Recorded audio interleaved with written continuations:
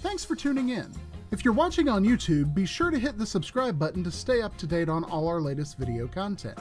If you're watching on LocalGov TV, be sure to visit their website to see all of the content made for you by your local governments. Alamance County is pleased to present the Alamance County Commissioners Meeting. Term signature. We are now in session. Not good. Okay. Mr. Lashley, Yes, sir. you have the honors. Oh, yes, thank you. Good morning. Uh, Please join me in prayer. Dear Lord, thank you for another wonderful day that you have created. And dear Lord, give us the strength and wisdom to take care of the business for the citizens of Alamance County. And dear Lord, we know that all things are possible through you. In your name we pray. Amen. Amen. I pledge allegiance to the flag of the United States of America and to the republic for which it stands, one nation, under God, indivisible, with liberty and justice for all.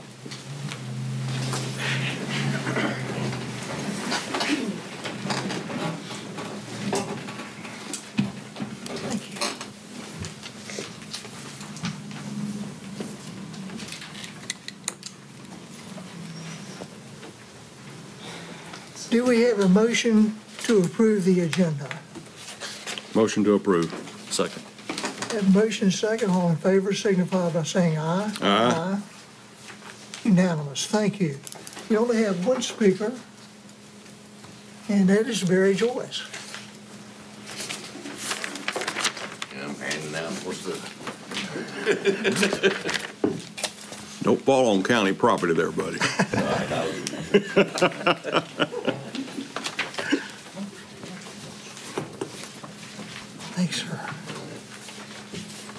How you doing this morning? all right. Thank you, sir.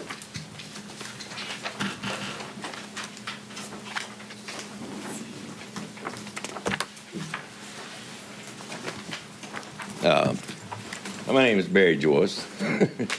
Uh, The, uh, a couple of weeks ago, I came to you about the, uh, the law enforcement training center.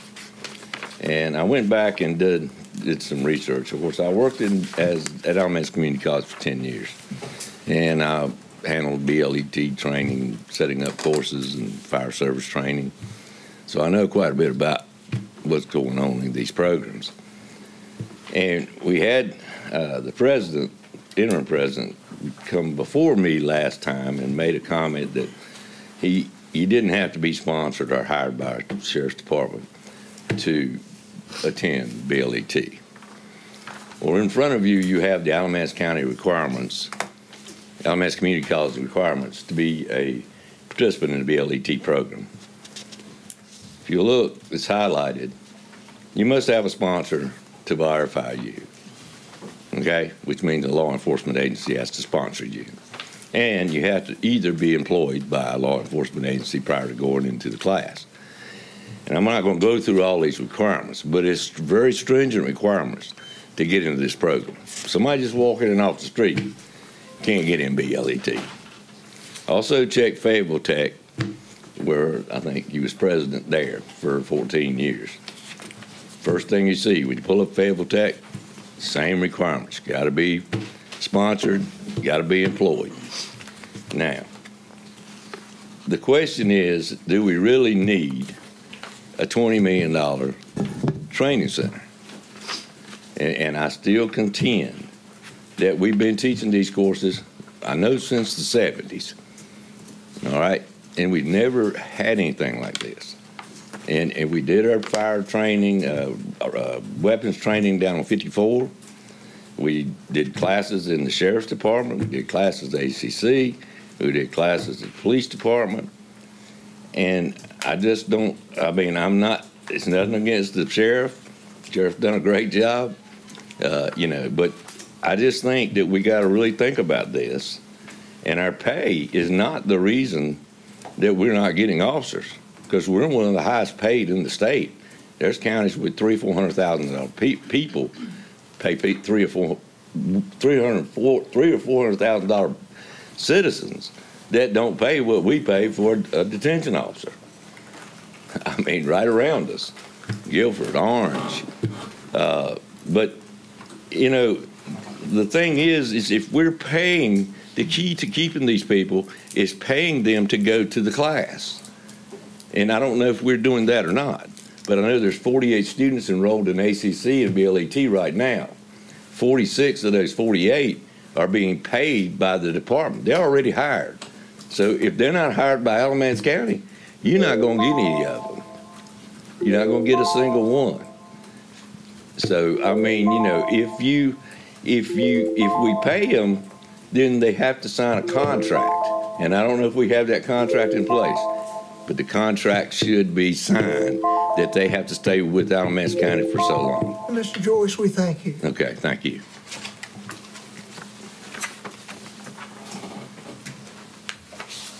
Do we have a motion as to the consent agenda? Motion to approve. Second. Yeah, motion and a second. All in favor signify by saying aye. Aye. Aye. It's unanimous again. Thank you. Anytime you see a big clip like that, it means that's a consent agenda. That's good.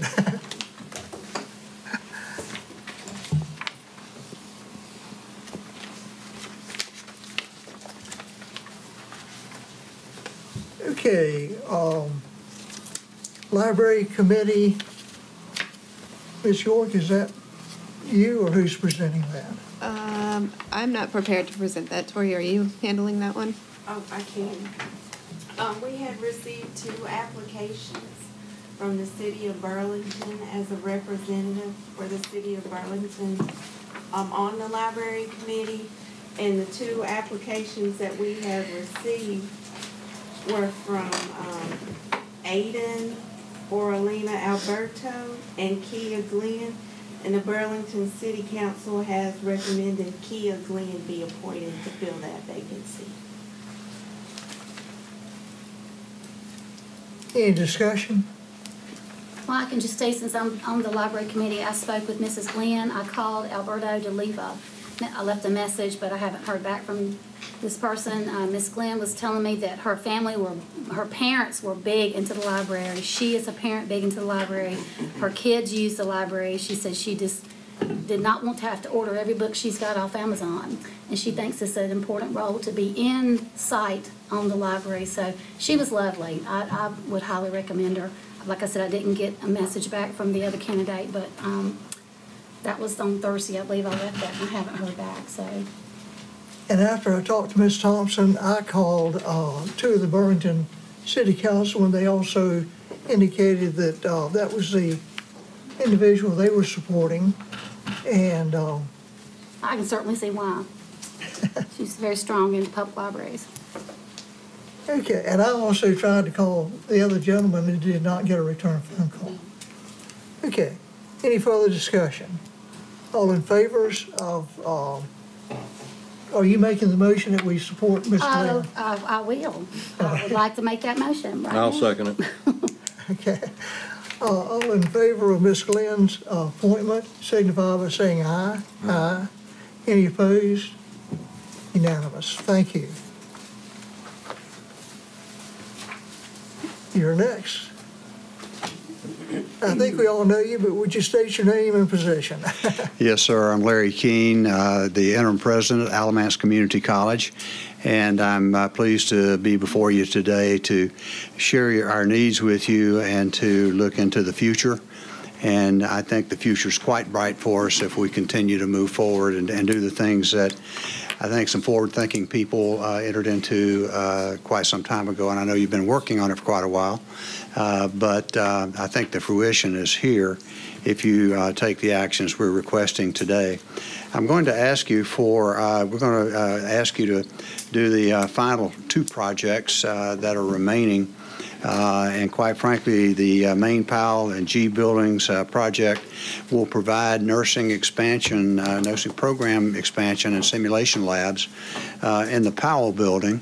Uh, As you may know, we were just recently approved for the licensed practical nursing program, which will add to the nursing uh, capacity at different levels. And so therefore, uh, you know, give you more nursing capability within Alamance County and the region. Uh, It will give us an opportunity to modernize the library in the G building. Uh, It's been moved out into temporary quarters right now, and quite frankly, is in the process of being uh, remodernized. And then modern, up-to-date classrooms would be required. Um, The tutoring center, uh, computer labs, and technology uh, in a building that's basically about 45 years old, actually older than 45 years old. So it's time. And so uh, the beauty of that is it gives you the opportunity to expand access to other materials uh, that come far beyond what we're capable of doing currently, and at the same time giving a, uh, a place pardon me, for uh, study that will, I think, will enhance the, uh, the success of the students that we have. The second item is a public service training center, uh, and it will provide for BLET growth. And it's the local and regional uh, law enforcement uh, training opportunities. And I heard the speaker earlier indicate that it was just uh, scheduled. First of all, everybody is not already hired. They're not already being paid, and they many times do come to you uh, throughout uh, the community and certainly other places as long as they are pursuing uh, the basic law enforcement training program, which is a fundamental uh, operation for by which uh, people can be certified and then subsequently hired. Some of them are sponsored and paid, but not all. Uh, So um, I think that is an opportunity for you, not only with the existing sheriff's departments in the region that will send their people here, and they fall under the category the gentleman suggested, but there are other people that'll come to you as well. We had a lot of them out of Fort Bragg that would come to us, and they were not sponsored necessarily, uh, and uh, they would work on that. So the same thing I I would see could happen here. Um, The economic growth for the uh, town of uh, Green Level is another opportunity that I think uh, exists uh, over time. And then the uh, Fire Academy and local first responder training opportunities for people that are not only in fire, but also in EMS and other things as they work in concert with their law enforcement partners as well. So uh, we're currently working on a strategic partnership with the city of Burlington as well. Uh, I will tell you that we moved an aircraft donated by LabCorp out there uh, about two weeks ago, and it is now in place and ready for uh, training for both fire and uh, law enforcement. Uh, and we continue to do that as we move forward. Both projects have faced cost ex- escalations since they were first envisioned for the college and the county uh, as a result of the uh, furniture, fixtures, and equipment costs that were written and within the original bu- budgets have fallen victim to the construction cost uh, escalations, among other things, uh, as, as you might expect. Both projects are ready to launch.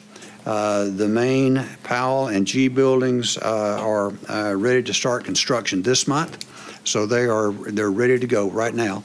And then the Public Safety Training Center, the construction manager at risk uh, is bidding, uh, going through bids in October November with construction that will start in January.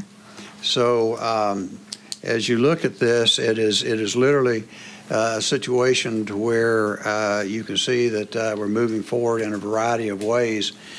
When you take a look at the base project um, in green level, uh, the GMP is now in hand. The guaranteed uh, uh, price is now in hand. It is, project's cost went up slightly, about $21,000 uh, from the last estimate. And the furniture, fixtures, and equipment cost now indicated uh, as a line item due to cons- construction cost escalation as well. The second item is the firing range. Uh, The state budget appropriated five and a half uh, million dollars for that, and uh, I'd like to express my appreciation to Senator Galey, Representatives uh, Ross and Riddell uh, for their work on that. This was not an easy year, but they did a wonderful job in uh, bringing that together for Alamance County, and I I would, I would be remiss if I did not thank them for their efforts, and so uh, I appreciate uh, all they have done. Uh, Construction price increases uh, are predominantly due to the increases that were uh, rectified or recognized in a specialized uh, heating, ventilation, and air conditioning uh, system that is required for the indoor range. And I asked the question, well, why wasn't that identified early on? And then they indicated to us that it was a modification in the requirements that were, that were required. Now, I don't have the detail on that, but that is, well, when you're, uh, you know, shooting and, and so forth, you want to make sure you're not breathing all the stuff. So the better the HVAC system, the better you're going to be. And then the burning tower, uh, we have to finalize, we're in the process of finalizing that partnership uh, with Burlington right now. And uh, I think we're moving in, a, in a, an expeditious way and, and a good way from my perspective. Um, the main Powell and, and G buildings, um, the um, uh, Public Service uh, Training Center, as you see here, uh, we are thinking that we can uh, actually uh, effect some savings in some ways. So Public Service Training Center is $24,157,164 minus uh, the 2021 bond proceeds. Uh, uh, Secondly, less approved capital reserves of $2 million, and then less the 2024 state budget appropriation of 5.5 million. So we're asking for 16 million, 60,000, and uh, about uh, $787 there. Um, The main Powell in G buildings, that was uh, 5,136,070, and less approved capital reserves of half a million, and then uh, less estate grants gift funds of a million four uh, for 3.2 million and a little bit more. So our total request is for $19,296,857. And uh, the, the truth of the matter is, if we can get to that point and uh, make these things happen, not only uh, will we be able to, I think, complete things expeditiously on the Powell Main G and Main G buildings, but also get to a point to where we can actually start uh, moving dirt and doing the things that we need to do at the firing range. Uh, The last thing I'd like to say uh, before I open it questions, uh, if you have any, would be that uh, we have an opportunity in Alamance County. I guess I'm, I'm beginning to believe I'm part of you, and I think I am. Uh, but we have an opportunity to look forward or be stay stuck in the past. And uh, the truth of the matter is, uh, we need to move forward. In my uh, expectation, what I've experienced being with you now for three months. Uh, this county is a wonderful county. Uh, we were with uh, people that are looking at this county for opportunities about two weeks ago, and they were saying the same things, and these are very notable uh, individuals that we had conversations with. This county has a lot to do and a lot of growth to, uh, to enjoy and a lot of good things coming its way, but we have to be forward thinking if we're going to be a, a part of that. And I, I would recommend to you, and I'd ask your support of our request for $19,296,857. Mr. Chair, that's my report, and I'll be glad to respond to any questions you might have. Thank you. Mr. Turner?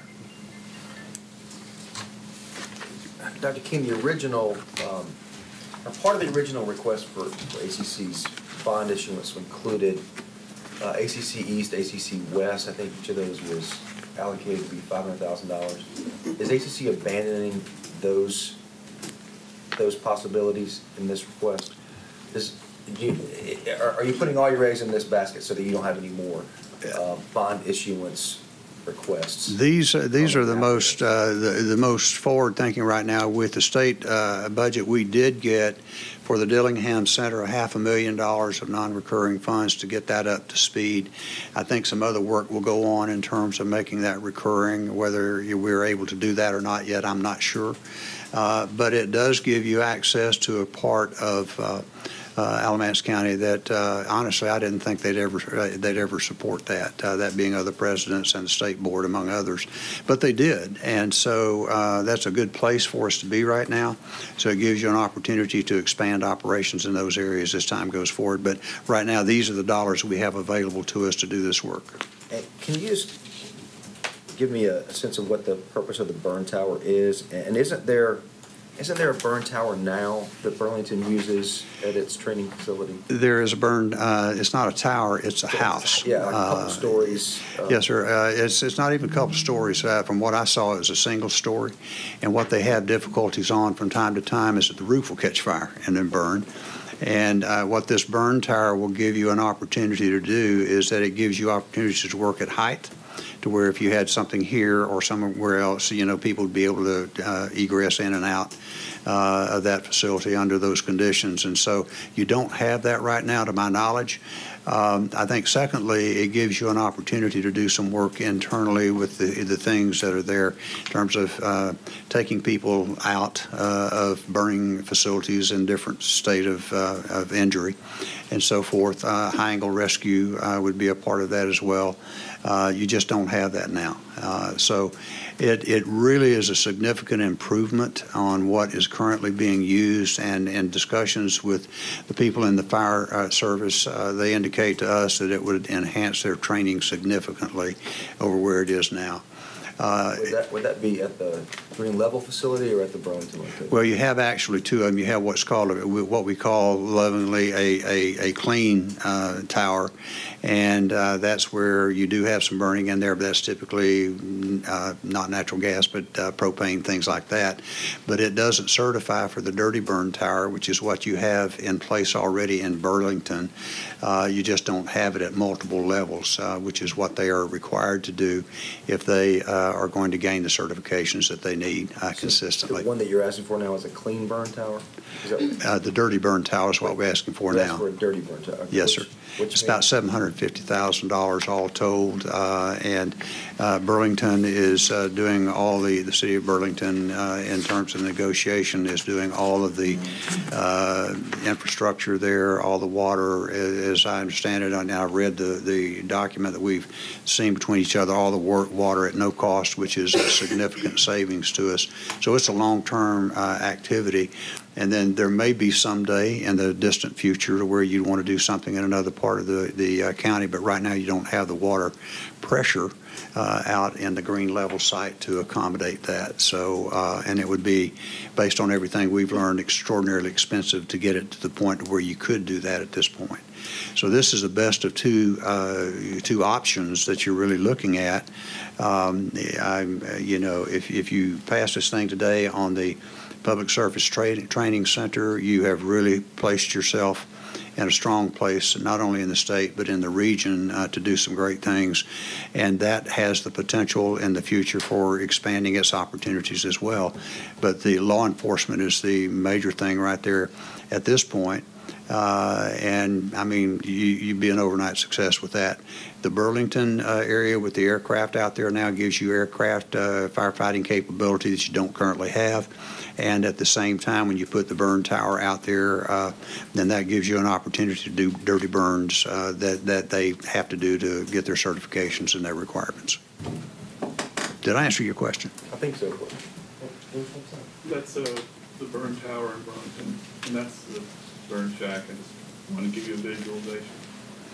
So that's clean burn? They do clean burn in that? I have no idea. I just, Uh, that, I don't know what that is. Tom, do you know what that is?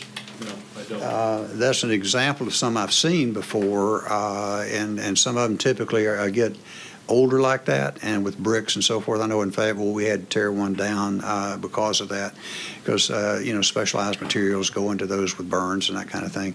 Uh, The one that we're uh, contemplating is a, uh, is a, uh, what do you call it, a a metal facility made out of containers, which a lot of colleges and universities are doing that now, and fire departments are doing that now because uh, it's far less expensive than a $14 million, $13 million uh, concrete and steel facility. Now, you can't do as much with it, uh, perhaps, but by the same token, uh, it, it serves the needs.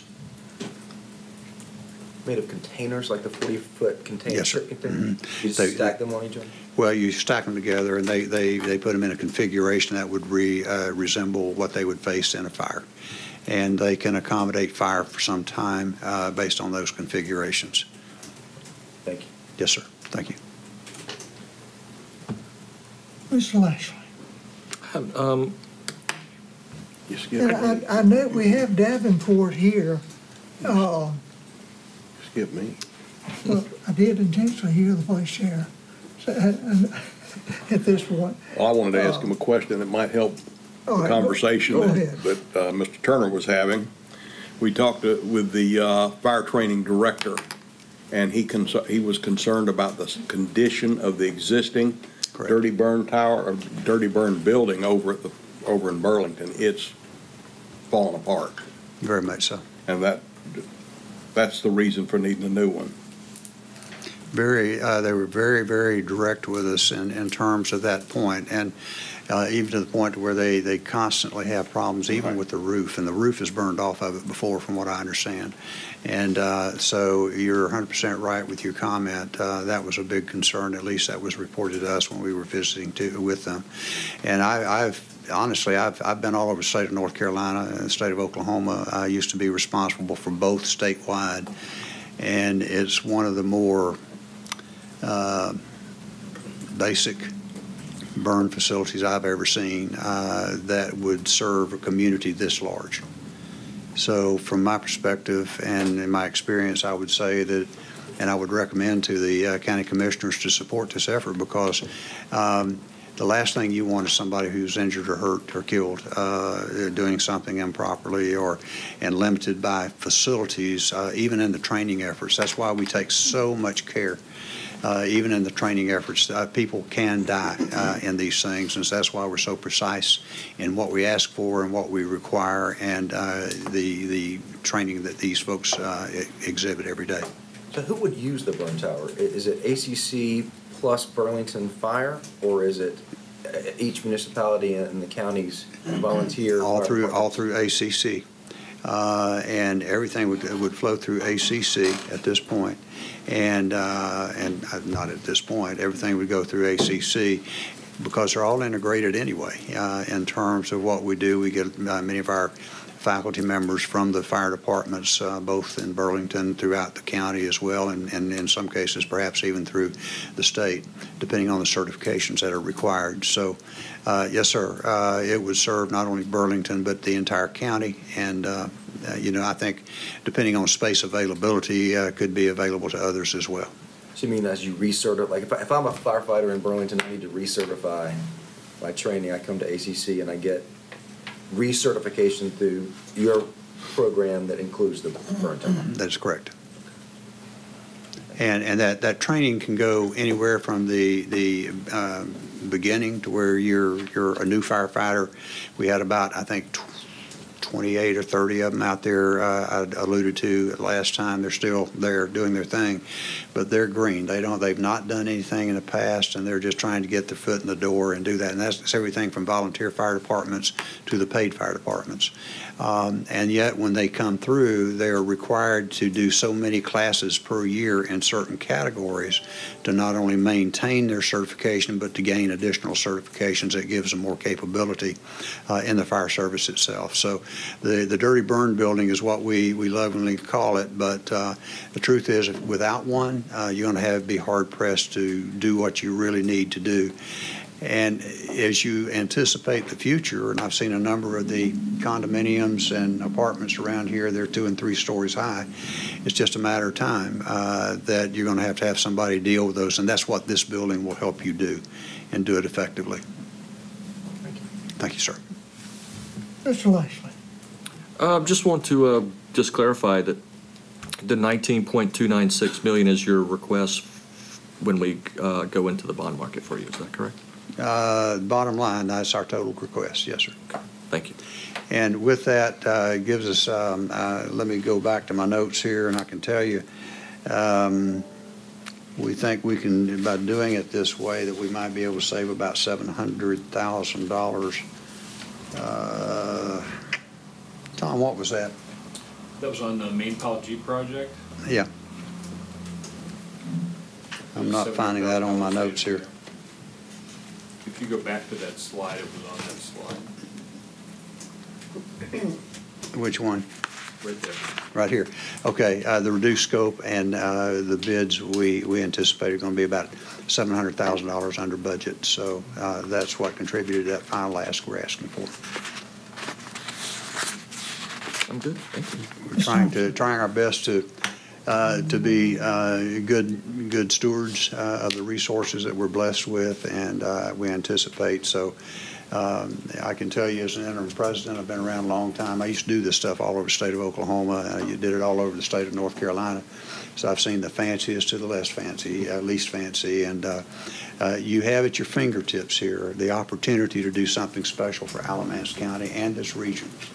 And I would really encourage you, from my perspective, to do so uh, as, as you move forward as a community. It will make a difference in terms of the way people look at you. I have a few questions. Yes, ma'am. Can you tell me if this uh, facility, if you own the land or if you lease the land? We lease the land. Okay, what's that lease? How long is that for? Forever, Uh, basically? Last number I heard, 40 years? Are you asking about uh, green level? Mhm. Yeah, it's, it's a fifty-year lease. So there was nowhere you could buy the land, so it would be yours? No, there was not a, at the time of looking at it, there wasn't a place to, to purchase land, no. And the vicinity is close to ACC, that's the deal, right? Correct. Okay.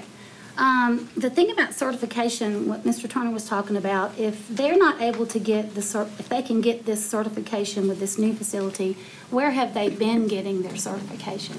Uh, Some will travel other places. Uh, Some will go through ACC, and they will get it working in concert with uh, probably the Burlington Fire Department or whatever, but it's all engaged with ACC. Some will have to go other places to get any, from what I understand uh, here, any of the, the tower work. So that's, that's the purpose of this, is to get the tower work. Okay, um, the volunteer fire department, are they part of the training inside the city now, over there near the dog pam, dog, dog, what you call it, shelter? I don't want to insult it, it's really nice. Sure. Are they part of that? Because, I mean, I'm from Eli Eli Whitney, and it's nothing for somebody to say, you can burn my house down in practice. But I'm not kidding. I It's all well-contained. They'll burn you up down there. My dad used to be really bad about waiting until it hadn't rained for six months, and then he wanted to burn the field. They loved it because they got training. Um, That's exactly so, right. I'm telling you. So do they come up here to train for They that? can. Okay. Uh, They can uh, come up and come through ACC. And that program, that's, that's why I say that they're so integrated with each other anyway, uh, Is because that now or is that the future? that's both. Okay. Um, The, when you was talking about the Fort Bragg and, and guys wanting to go into it, well, that's a perfect fit. We've got a former Navy firefighter in here, I'm just saying Mhm. over there. Um, Is that the GI Bill they use? Because I, I have a question. I need to know what the deal is. Is this true or is this not? About when it comes to sponsorship verification, verification of employee. Is that an option that they can check if they're being sponsored? Or is that, I- it's just some confusion and I It's, need it's to an know what. option. They can come in and, uh, for example, here, the sheriff's or police department, uh, they can hire them before the fact and Mhm. sponsor them, uh, pay them while they're on, uh, while they're taking class, and, uh, and, and so forth. Uh, My presumption is they would write a contract with them, that they'd have to go back to work for- for them for a period of time. Not everybody does that. Uh, And there, there are some that, that, you know, will go ahead and sponsor them uh, in good faith, and then they'll come back to them when they're finished. Uh, Others, especially when they started paying, paying bonuses so big, uh, others jumped ship and went the one that gave them the biggest bonus. So it's been a point of contention in some places throughout the uh, state. Uh, But that's one option. Uh, Another option uh, is to be sponsored by sheriff's or police department, but not paid a salary either. Uh, And uh, where, where this, where the money comes from both fire and uh, the, and law enforcement, uh, I I don't want to get too complicated here, but it, because it is complicated, is that the state has a, a system uh, whereby they reimburse us for doing uh, so much of the training as much as we can legitimately. And so we, uh, you know, pull very little tuition and fees off that. Uh, We are reimbursed for those costs, and that's the state, that's the taxpayers of, of North Carolina that do most of that. Okay. Uh, So, uh, and, and uh, contrary to public opinion, there, if you have an interest uh, in becoming a firefighter or a law enforcement officer, you may go to those places, gain entry, and then once you go through certain uh, things to demonstrate that you're serious about it and you're capable, then you can gain entry. Okay, I won't, um, and the HVACs, all of a sudden now, this situation matters, whereas before it didn't, as far as your cost elevation. I mean, I know how this world works. Is that, It's kind of like uh, what kids used to breathe in school before COVID was not that major of a deal. But after COVID, everybody's HVAC's got to be replaced. And I we know what that looks like. It's a situational crisis. America's got that going down really good. We, we've got it really well everywhere. And so uh, I will tell you this, is that when you're, when you're uh, popping off significant rounds of of ammunition, uh, everything from uh, the chemicals that are in the gunpowder to the other things that you're, you're dealing with, uh, not to mention lead or, or steel Mhm. flying down and then recovering that, all of it mounts up. And so I asked the same question you did, why wasn't this calculated early on? And I can't answer that question, and I, you know, I, I got an answer, but I don't know if it's, it's adequate. But uh, uh, the truth of the matter is, is that to ensure the safety of the people that we're putting out to keep us safe, it's just the best way to do it uh, at this point. That way you won't have it come back later on after something is built and then have a requirement put on you that then all of a sudden becomes a million and a half dollars as opposed to what it is now. And, and this airplane, is it located in Burlington? Yes, ma'am. Will it be moved? No. It, uh, our welding department went out and, uh, put it, uh, put it together. I don't know if your son was a part of that or not, but He wouldn't tell me. They were Well, I think he's in the CIA. I don't think he's at ACC. I think he's, a- I think he's a spy. that's Go the way, ahead. I'm that's the way a lot of those guys work. But, uh, uh, they were delighted to go out and put the foundation together to where it would be a safe place which people could train. So it's in place now. It is not movable. Uh, as a matter of fact, uh, working with LabCorp, uh, they were wonderful. Uh, and, uh, first of all, donating it, and then, uh, the people at the fire department and our staff at ACC working together.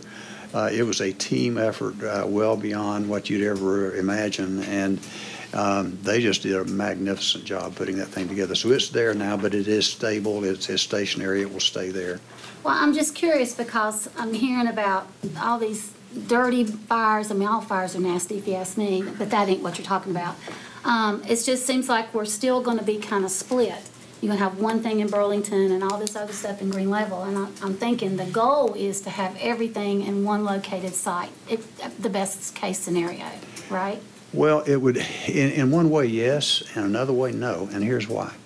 Uh, you mentioned you live in Eli Whitney. Uh, I drive through that periodically when I'm coming and going, and, and I know what you're talking about. It's, it's more of a rural area, beautiful, but, but rural.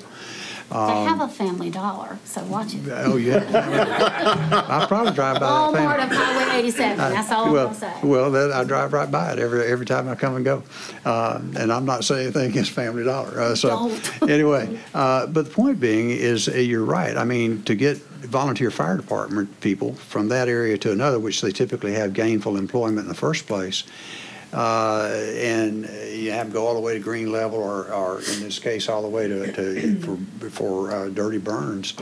Which, when when I say dirty burns, I mean wood, I mean hay, I mean everything where they put their uh, personal protective equipment on, and they go in there, you can't see, you can't breathe, and there's heat, there's real heat. Yeah.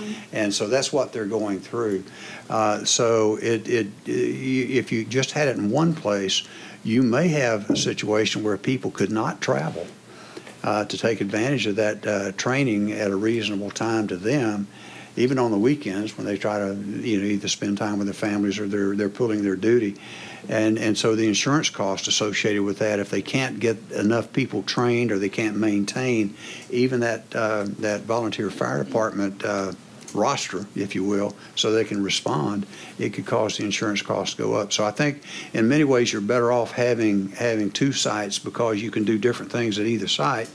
And at the same time, uh, you know, you've got so much and, and Burlington seems to be a, a place where a lot of people go for different reasons. Uh, and so, um, just, it's not unusual, uh, but, uh, uh, you know, it's just right now the best we can do with what we have. Okay, and one other question, uh, Chairman Paisley.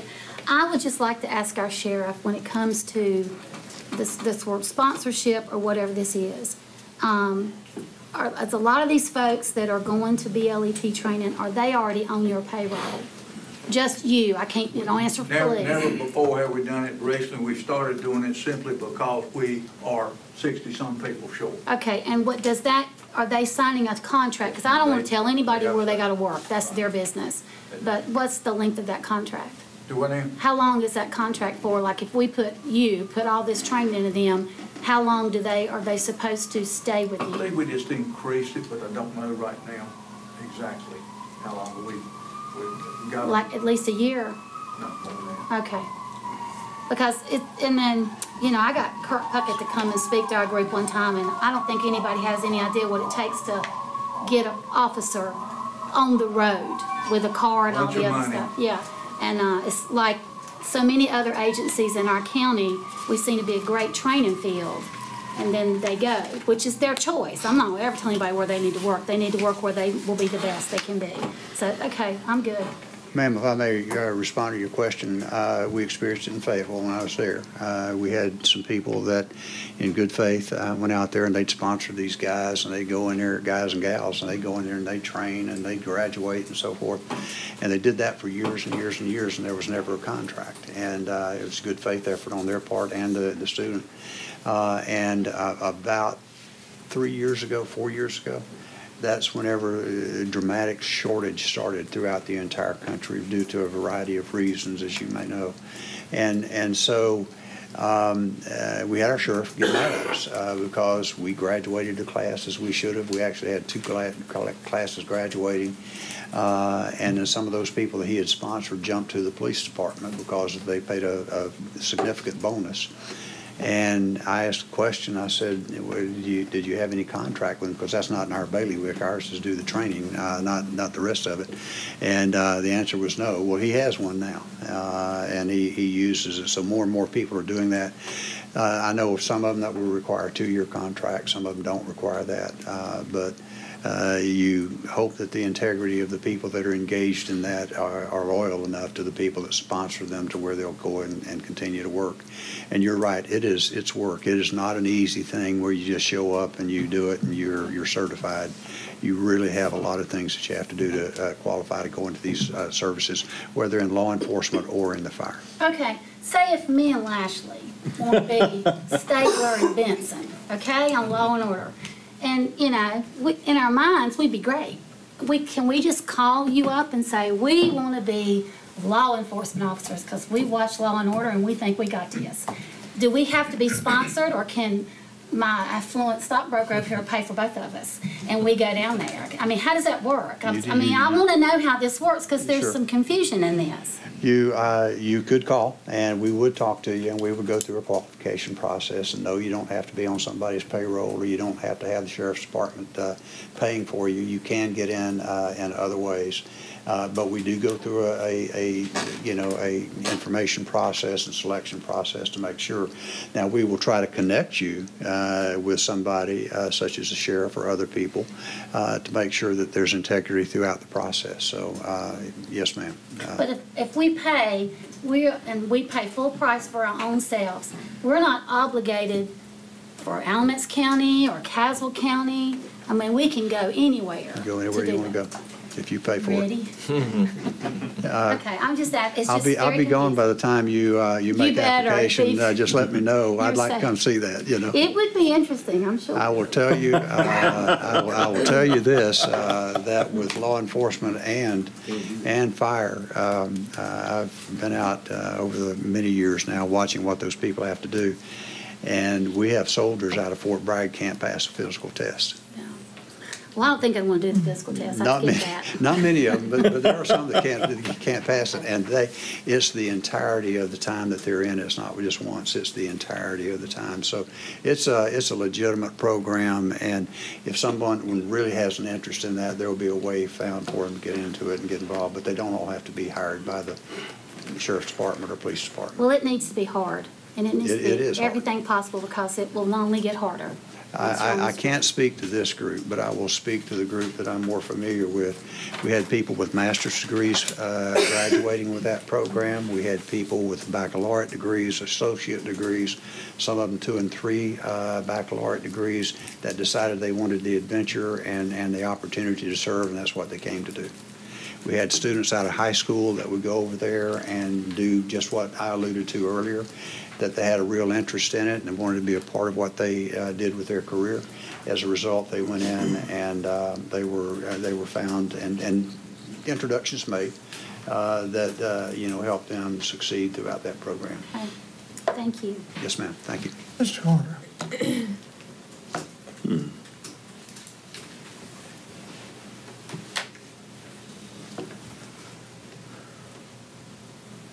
Oh, okay. I knew I had a question. It got back to me, okay. Um, one, not a question as much as a comment. One of the other things we learned, uh, I happened to serve on the, as a a trustee of the college, and so, and I'm on the Building and Grounds Committee, so I've been in a variety of these meetings. And one of the things we learned from the fire training, what's, I can't think of the young man's name that is uh, over fire training. Uh, Matt? Matt, okay. Um, He told us that what we really probably at some point, this is not on the, on the, in planning right now, but what you're dealing with with volunteer fire departments is that if you take a team out of a fire department, which is usually the crew that might be on call that day, and put them in training, and they have to drive from uh, snow camp, Swepsonville, whatever, to the center, and then they get a fire call, if, if that call, that's, if, if the respondents to the call are from other agencies and not from the fire department that covers that age, that district, then the, they keep a track of who shows up, and if they don't have representatives from the agency that's, or the district, it can have a negative impact to the people in their district on their property tax, or property insurance rates. So one of the, one of the things they're concerned about is making sure that they always have a complement of their people in the location. So at some point, as we grow, and as traffic in particular in the rural parts of our county gets even more difficult, we're gonna probably have to look at additional burn towers for training locations, so these folks can come off where they are, uh, but be in proximity to where they might need to respond to an actual fire versus being in the training situation. So, Mr. Carter, you're exactly right. Uh, We work with Mr. Causey, who is the State Fire Commissioner, uh, as well as the uh, State Fire Marshal, uh, and they are both intimately involved in what we all do in, in fire service in the community colleges. And your comments are right on target, because that's exactly why they do that, and, and why we stay so intimately involved with each other, because it's a big deal. Uh, You know, the fire insurance rates, among other things, they need to be, uh, you know, reasonable for where they are and what they do, but they need to be reflective. The other thing that you, you, uh, I failed to mention earlier, and you just reminded me of, is that with volunteer fire departments right now, they're having a hard time getting people because of the very reasons we've been talking about. And so this gives another opportunity to get people uh, into those roles uh, to do the work that needs to be done so desperately. And the protections and, and the readiness at the, at a, at a moment's notice of people to serve, whether it's a a paid fire department or one that is volunteer uh, in nature. They're all extraordinarily important, and we all need to do this to make sure that we protect ourselves and our families effectively. Not to- back during budget time, that's a comment we heard from just about, I think, every fire chief we had in the county was that trying to find volunteers today is a lot more difficult than it used to be. It used to be, uh, young people would jump into that, and, uh, the farmers, we had more farmers working out there that, uh, would, uh, be a part of the volunteer because they could leave the farm and come back. It wasn't, they weren't at a, a mill job or a manufacturing job someplace or whatever, and they, they could get away and deal with the fire and come back home and, or come back to wherever they were working. So it's not as easy to do that anymore. Just one more thing. I'm gonna ask Mr. Payne. We talked about possible sponsorships for BLET or not. Is that the same with fire? Because when I go by the Yeah, they ACC there, have to have fifty-four. Sponsorship for that unless they, I know over the city of Mebane, they did have sponsorships once they went mm-hmm. through the academy, they were promised a job at the fire department.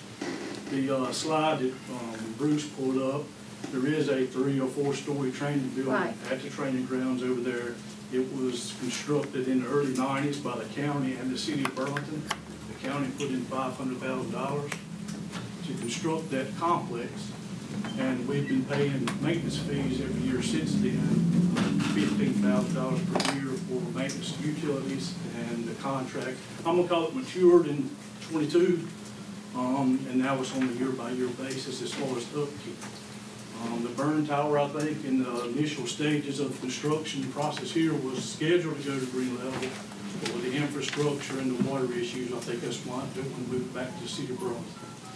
Now, to touch on your question about volunteers coming from snow camp, um, probably not unless it was specialized training. They make sure their district was covered. Because if district's not covered, it will affect the insurance ISO rating when they come back and get rated on a five-year schedule. But are they certified? Do they go to places that are certified? Like under volunteer training? They can do a lot of their training in-house through ACC, um, but specialized training with a tower, they will utilize that. Um, they, uh, everybody's gotta have thirty-six hours per year through the state.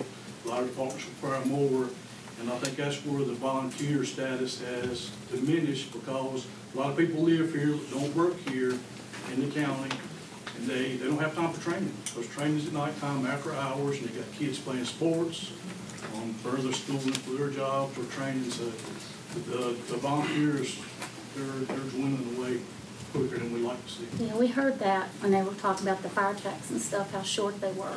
Right. But fire doesn't stop, does it? No, the, uh, the, the dirty room, as he called it, it was the one-story room up there, and it is in bad shape. They used to use the tower for rappelling, I think they had some injuries, they used to have a big net outside, They had injuries in the past, um, and I think they may just like set wet straw on it now, just for the smoke effect, not necessarily a, a live burn training for that. Okay. Again, I'd I like to think, acknowledge that uh, to the sheriff, we really appreciate the contracts. If we're sponsoring and paying, i.e. Sheriff's Department, county, whatever, those contracts are essential. Thank you. and Mr. Chair, they're not typically paying for the tuition. Uh, We're, we're taking that on uh, through the entire state. But if they're sponsored by them, they could be very well on their payroll for, uh, as trainees for a period of time.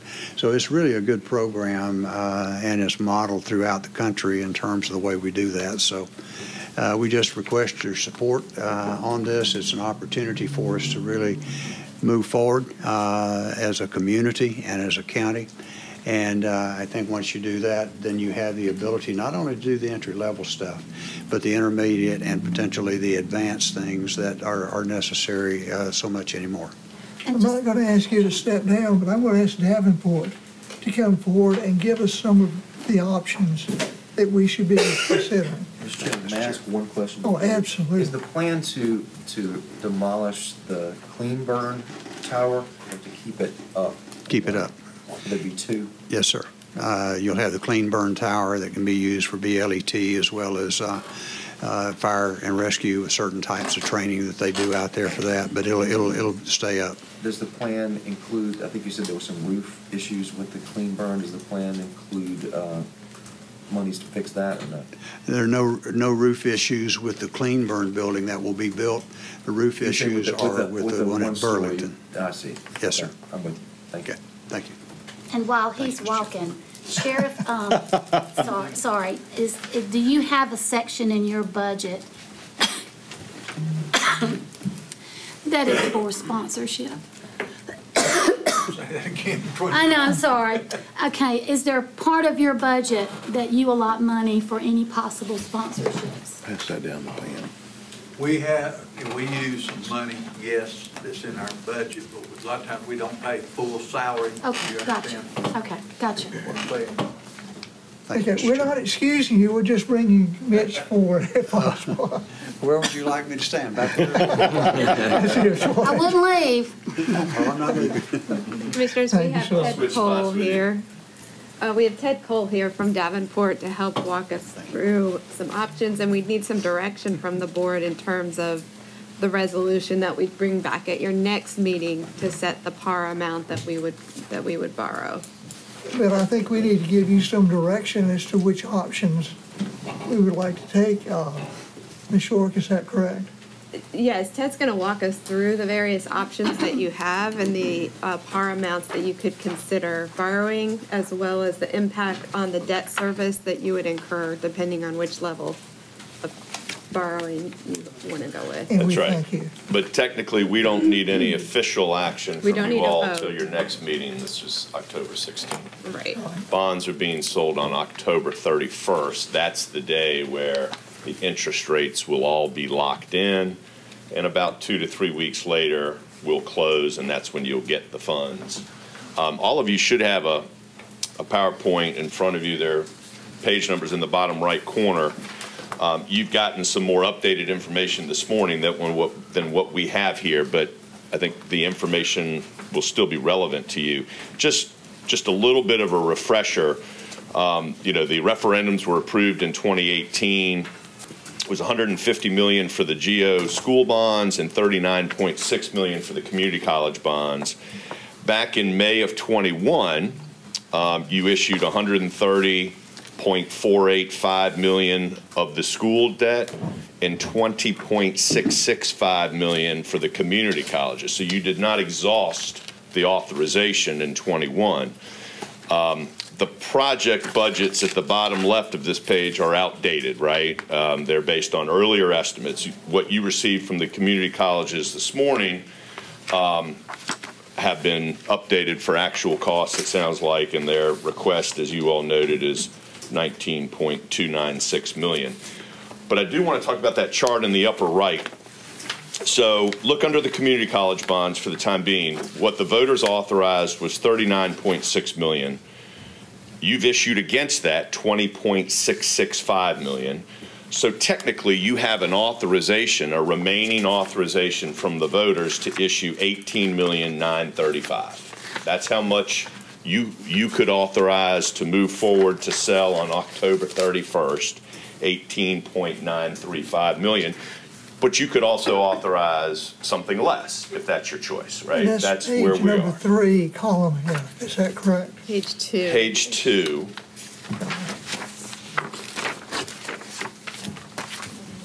On the right-hand side, upper right-hand side where it says community college bonds, the, what's called the current remaining authorization. As of today, what you could issue is 18.935 million.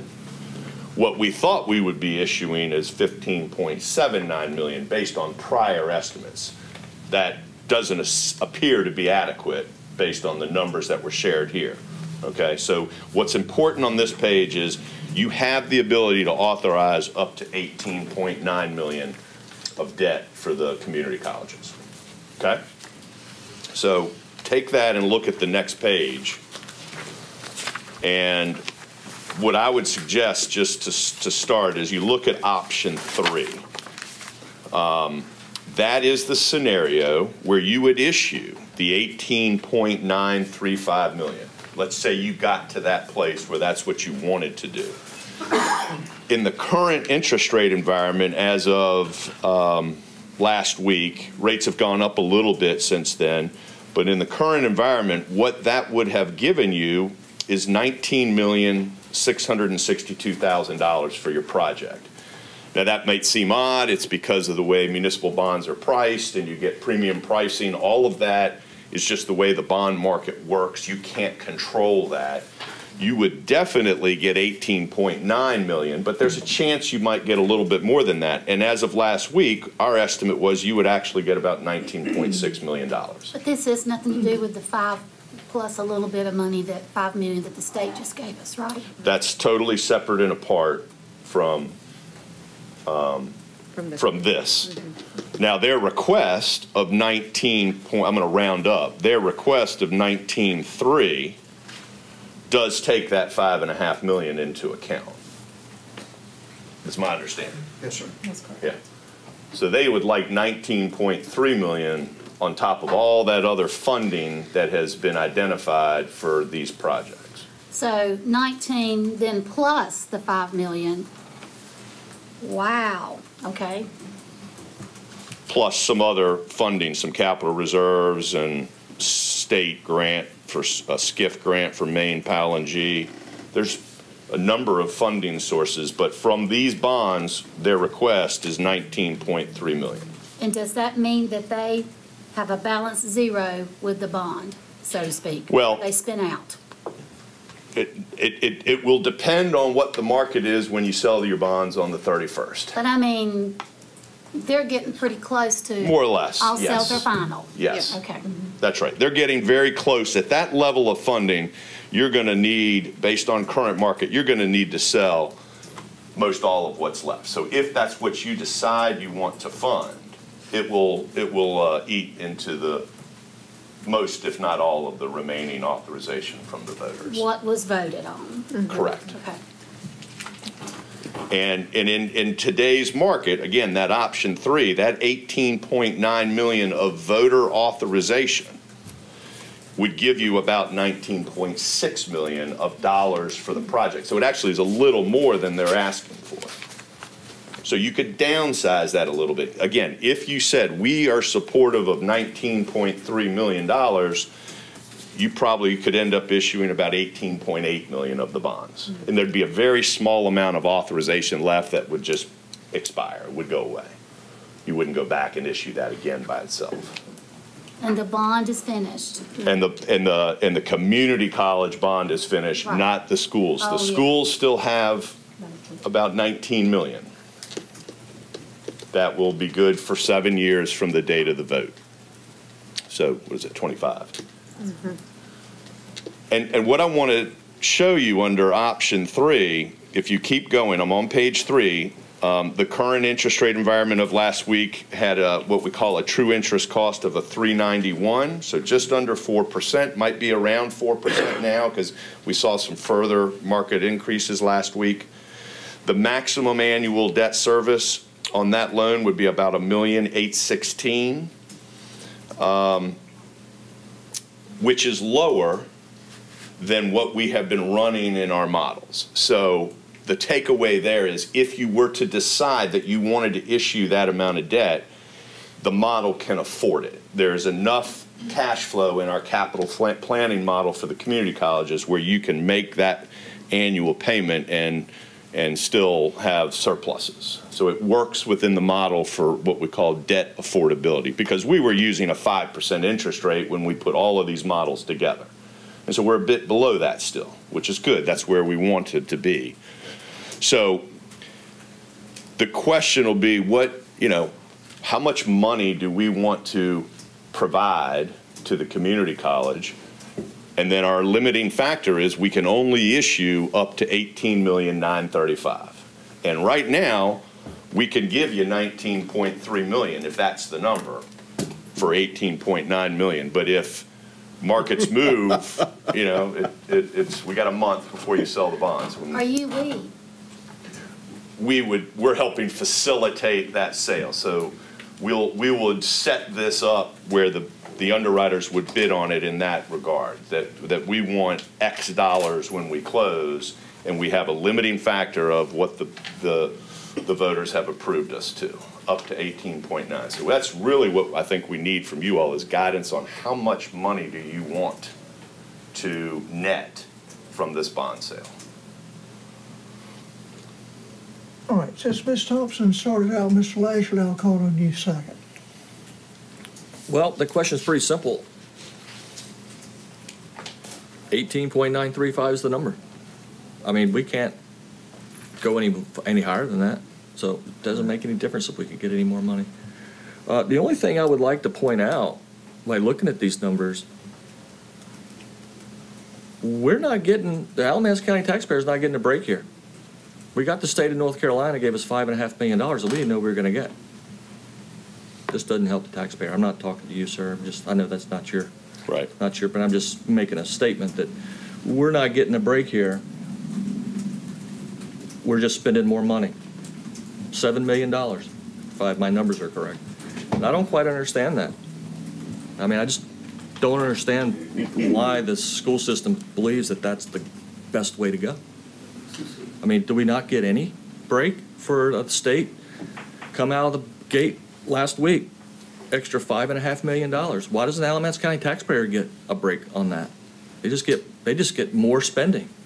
Why can't we knock this mon, this number down from eighteen point three nine, subtract five and a half million dollars in that? At least let the Alamance County taxpayer get a break here, instead of spending seven million more dollars that you didn't know you were gonna have. You didn't know you were gonna have it. But you have two other options here, which Yep. we've not discussed. We have not discussed, and, and. But that doesn't help me. They're, they're, they are set up to fund fifteen million, seven hundred and ninety thousand dollars for projects, which is what we were using as the estimate of what was needed back in, you know, April, May timeframe. So at that time, based on the estimates that were being provided for these projects, the thought was, hey, we're going to need to issue $15.79 million of debt. So that's obviously evolved. But under those scenarios, um, in option one, column B, to, to net you $15,790,000, we would only need to sell about $15.2 million of bonds. So we would be leaving some voter authorization out there for future consideration, roughly $3 million. Option two is let's issue $15.79 million of bonds, but that'll actually give us a little over 16. So these are just trying to give you some perspective of, you know, different ways that you can manage. The, the, the net discussion, though, again, the, the key takeaway at some point will be, we know we can only issue up to 18.935 million. That's a known, that's going to be a parameter we have to live by when we sell the bonds. The question is how much, um, how much money do you want to net out of that to provide to them for projects? Mr. Lashley, continue with yours. Uh, I'm just making a, I was just making a point that I'm sure that everybody who looks at these numbers can see it. It's, it's glaring. I mean, we didn't know, you didn't know you were gonna get five and a half million dollars last week this time. Mr. Chairman, may I make a comment, please? Yes. What we're dealing with is cost escalation. But it's, it. The project has gone up more I'm than the not gonna, gi- I'm not 5.5 gonna give million. you any sympathy whatsoever on that because they've had five years. This bond was passed in 2018 and ACC wasn't ready to go with it. And now here it is, five years later, we're coming up on a five-year, and this doesn't, not just ACC, this ABSS as well. They haven't actually done what they said they were gonna do when they told the voters they wanted this money five years ago. And here we are, five years later. Now, if you guys were ready, when we went to the bond market to start with, you how much money you would have saved the taxpayer? If ACC was ready to do what they told the voters that they were gonna do? I just can't quite understand how you think like this. If you were a normal company, you wouldn't be thinking like this at all. You would have been ready to go when the bond was passed, and you would have went, when we went to the bond market in 2021, ACC would have been ready to go. Here it is, three years later. And you're costing the Alamance County taxpayers more and more money. As everyone can see, we could have got out of here at 15-3, but now we're not. And what is so depressing about that is you did not know you were going to have this money last week this time. But yet, now that you do, you're going to use and spend it, and you're going to spend my taxpayers' money too.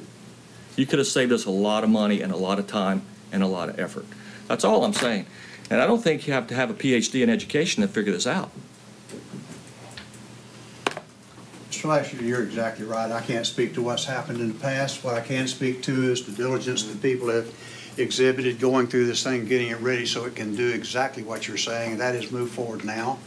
And I think that's what you are faced with at this point in terms of your decision. Do you want it to move forward and move into the future? Or do you want to continue on and have it, have it delayed? This is a great thing for the uh, county of Alamance. I, I really believe that. And guaranteed, by, by no means were we guaranteed five and a half million dollars last week. But we was a pretty darn good story, uh, story because we were working with our not just our own uh, dele- delegation, but others uh, as well to get support for what we were trying to do.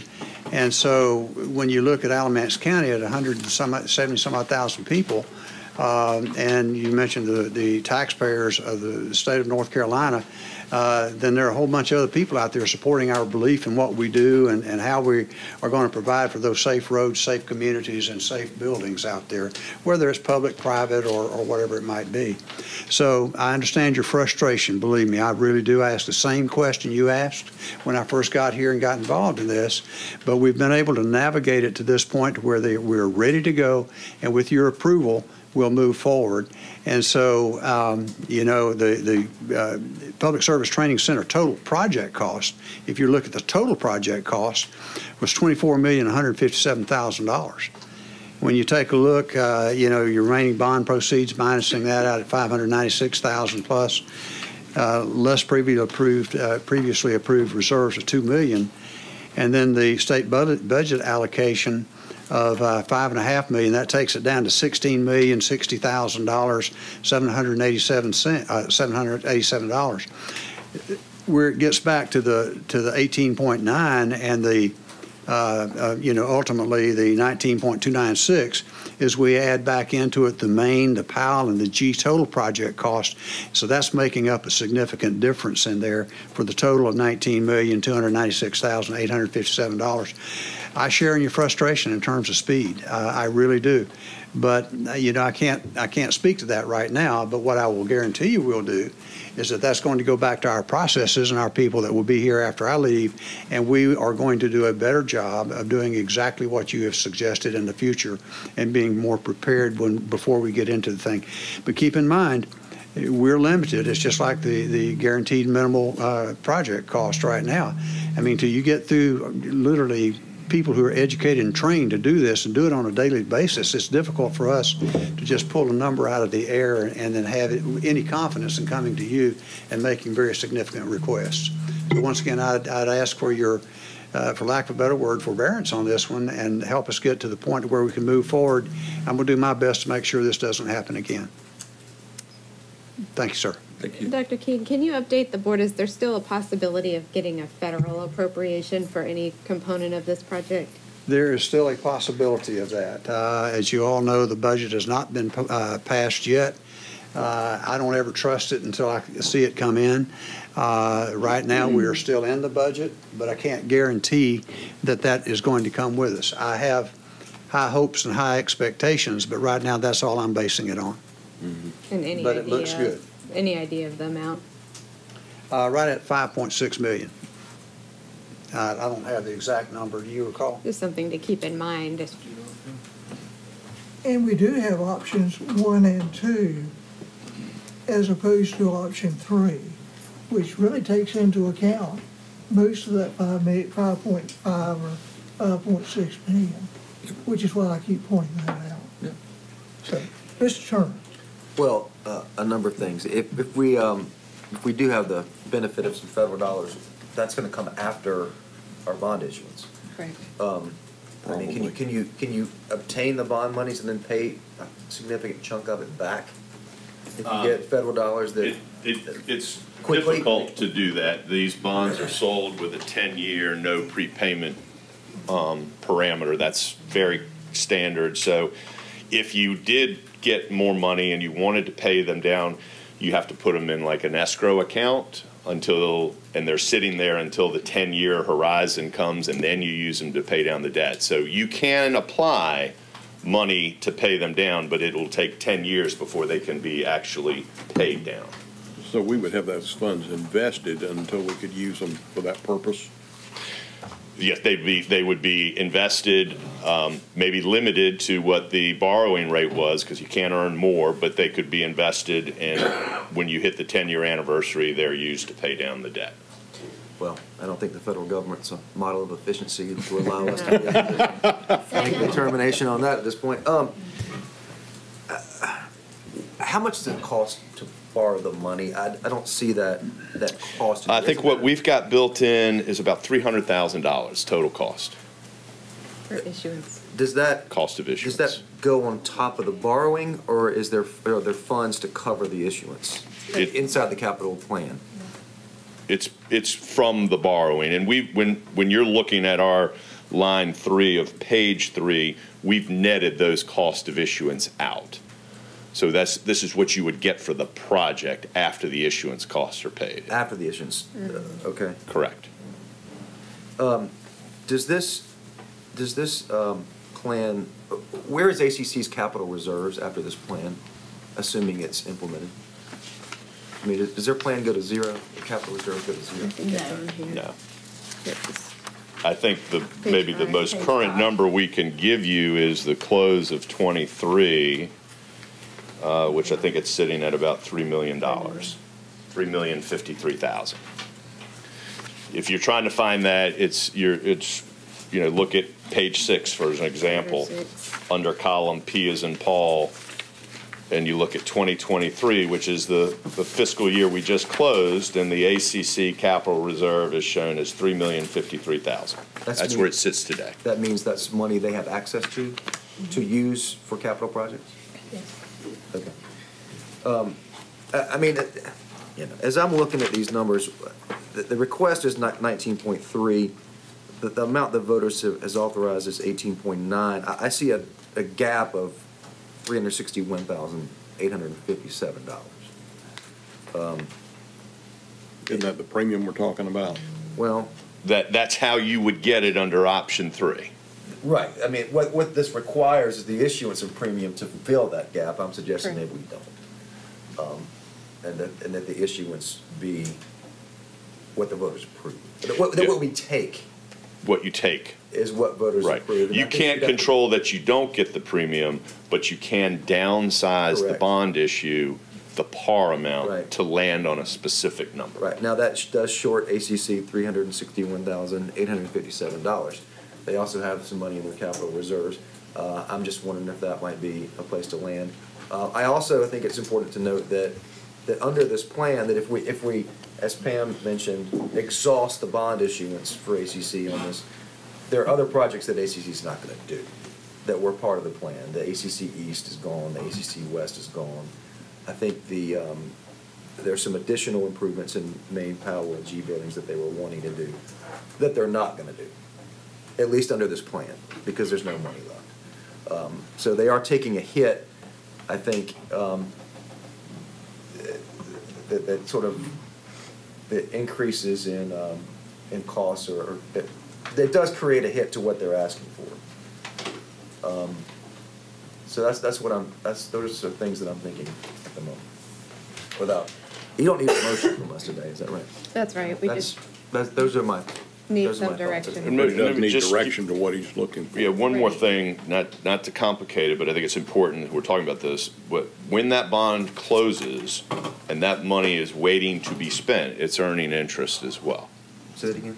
The bond money, when the bond closes, it's sitting in an account earning interest, so that is Okay. additional dollars. Now, we don't know, it'll depend on how quickly it's spent, what the interest rates are, but there is earnings on those bond monies while you're paying contractors. Mr. Horner. I don't think I have any additional questions. I, I will make a comment, though. The school has been very, very frustrated. I mean, I, I haven't, I wasn't on the Board of Trustees when this project was initiated, but I've been on it now for a little over a year and uh, served on the Building and Grounds Committee during that time and the Finance Committee, and we've been very frustrated. Uh, The conversations I've had with my fellow trustees has been, has, has demonstrated level of frustration in dealing with changes that occurred and whether they would get the land, how much the land was gonna cost, whether it would be sold, how- finally negotiating a lease, and then, then another uh, layer of difficulty was added in when the, uh, when uh, the uh, owner of the property wouldn't release a copy of their soil survey, and we had to turn around in the last minute and get our own soil survey uh, to, to, to to move the project forward. So it's, it's been a laborious project, a laborious project.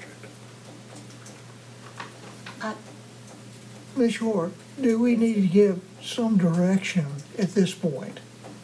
It would be helpful for us to have an amount in mind. You do not have to take a vote, but we'll prepare a resolution that'll come back at your next meeting for a vote with the amount that the board intends to And that borrow. would be on the 16th. Correct. Right. Um, Chairman Paisley, one second, please, I'm sorry. Um, when I hear about this, this gift from the state of North Carolina, that, that's really amazing. And I think that gift needs to be part, like a minus, of this big amount that we're looking at. This is becoming like another situation, like another Barbie dream house. I am all about ACC getting what they want. I'm all about any of our agencies and any of our places in this. But when I'm hearing that you're gonna have to scrap other parts that are really academic and that kind of, it's just becoming a monster. And it's late, which is just, you can't help it with COVID, and God bless COVID. I, I just have this sinking feeling that this never ends. This never ends. And, and that's just my opinion. When you get five million dollars plus that kind of gift, that needs to come off the top, not add to it. That's just the way I feel, because I just, like Mr. Lashley was talking about, it's, it's just, it's constantly more and more and more. We're looking at another situation, it's just gonna be unbelievable. But, um, nothing against my community college, they rock, they're amazing. But this particular project has become just its own individual. It's just, it's just unbelievable. We don't own the land, and I guess that's the way business does nowadays, and that's just what it is, but I don't know, I just don't, I just don't have a good feeling about this. I'm just one, and it's, I just need to say that. When you get five million dollars, just here, thank you, use it wisely. And, but don't add to the cost of some, it's just gotten out of control, that's what I see it. And if it's because of expenses and we can't help that, it's one thing, but the way I'm looking at it, it, I don't have a good feeling about this at all.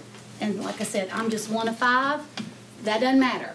But I, it just, I don't know, I'm sitting here about to have heart palpitations thinking of this kind of money, and it just, it's just not sitting well with me. Not you, dude, you're, you're, you're we and they. So I'm good with you, but, and I'm good with everybody. It's just, I have a right to have that kind of opinion, and it's just unsettling to me. It really is, because I know who pays for all this. I'm on that list. So I just, you don't need to explain anything. I got my own feelings, so I'm good. Pass, go ahead. Well, the five point five million is added into the project, the, the- the What would they do if they didn't have that? there. What would And this also includes the, the Powell and G building. I understand, but what would happen if they didn't have that? Oh, we would be in a world of hurt. Probably not have the shooting Would range. not be able to get the project component. done. Well, that's what I'm saying. I mean, that's a miracle if that happened, hmm. isn't it? It's just a miracle. So I'm so thankful for it. You know, we got representatives that fight for our county. So, um, but that's all. Just pay me no mind. That's all I'm saying. We had a number of uh, legislators from around the state step in to help us get this Well, done. I'm so just our own thankful. Delegation. It just seems to never end. That's all I'm saying. Like everything else. So the, the five point five million was specifically designated in the state budget for the firing range Right. component. Right. So that's sort of an add-on to this project. Remember, they kept that one separate. So now that appropriation allows them to move forward with that piece. Miracle. That's what I'm talking about. Okay, any other commissioner have any comments? Just would point out, we have multiple options on page three. Um, And I think it's our duty at this point to give some direction to our staff, to uh, Mr. Cole with Davenport, and to ACC. Um, So commissioners, I'd like to hear some comment on options one, two, and three among us. I don't And think Let me, option- let me just say that these, these aren't it. I mean, you can land anywhere in between these, so I don't want to, again, gives us a good- overcomplicate it, but these were us a good examples. Am I correct in, in assuming that option one and two would not get them the funds they need to complete the project? Option one, you got to look at line three. Option one would net them, again, based on estimates, fifteen million, seven ninety, compared to the nineteen-three that they've shared this morning. Option two would give them 16.36 million. Which would be about $2 million short, or $3 Three million million. short. And then option three, based on these estimates, gives them what they've shared this morning plus a little bit. So the only one that makes any sense if we want to get the project done and finished and ready to go to bid is option three. Except that that does not take into account the five point five. Yes, it does. Yeah, it does include that. It It doesn't does? It include does take any in. federal. Yes. All right, okay. Yeah, if they look at the monitor, they can see the breakout.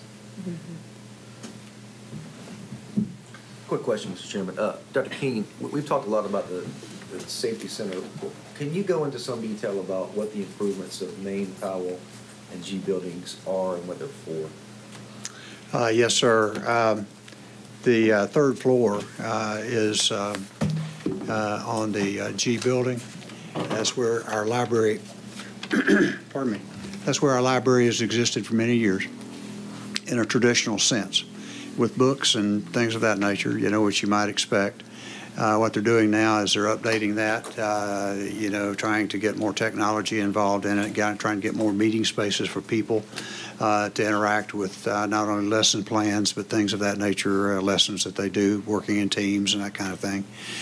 Um, The technology necessary to do that has changed. Uh, Quite frankly, libraries across the country now are getting a lot more uh, accessible, if you will, or having much more access to electronic databases to where instead of having a few hundred thousand uh, inquiries, it may have three or four million uh, now uh, to help our students learn, uh, to include helping our faculty teach. Uh, So it, it really increases the capacity uh, and it modernizes it. Uh, It makes it uh, better. I mean, you have some libraries that you can go throughout the country and they're pretty dark and dingy and they're just old. And so this, uh, this opportunity uh, makes it more in kind with the, the things that are happening now in libraries and the way they're redesigned and so forth. Gives, in addition to that, gives additional classroom space. Uh, classroom spaces are, uh, again, more technical. Uh, they're, uh, they've got to be more modernized. Uh, I was embarrassed whenever Mr. Carter, when I first got here, went to one of our facilities. We had a meeting uh, with faculty and staff there, and Mr. Carter, you will remember this. You were sitting at a broken table playing with the, uh, in a broken chair, uh, playing with broken edges of the table. I mean, that, there's just no reason for that for a place like Alamance County. And so that, that's what we're trying to do is upgrade that so that these classrooms will be brought up to speed because students make a decision as to where they're going to go based on the qualities that they feel they'll encounter. And so that's why we need to update it. And, and it's just like, it's no different than anything else. Things get older, they get worn out, so that's where we are. We just started a, I got a formal approval. This is the first semester for the licensed practical nursing program which we have the CNA program, we have now the licensed uh, practical nursing program, and we have the uh, associate degree nursing program that leads to the registered nurse when they sit for the examination.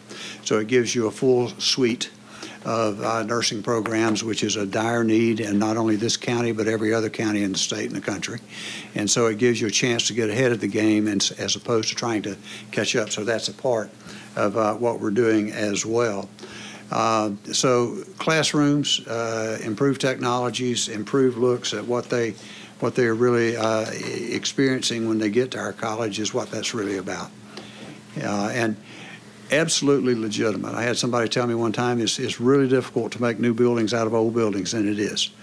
Uh, But if you don't do that, you, you lose relevance uh, over time. And unfortunately, we have uh, some in our, in our state uh, that have done just that. They've not reinvested in themselves. And quite frankly, they're suffering the consequences now because they have people going other places or they're not going at all. Uh, And so the net result of that is that the community is the one who loses.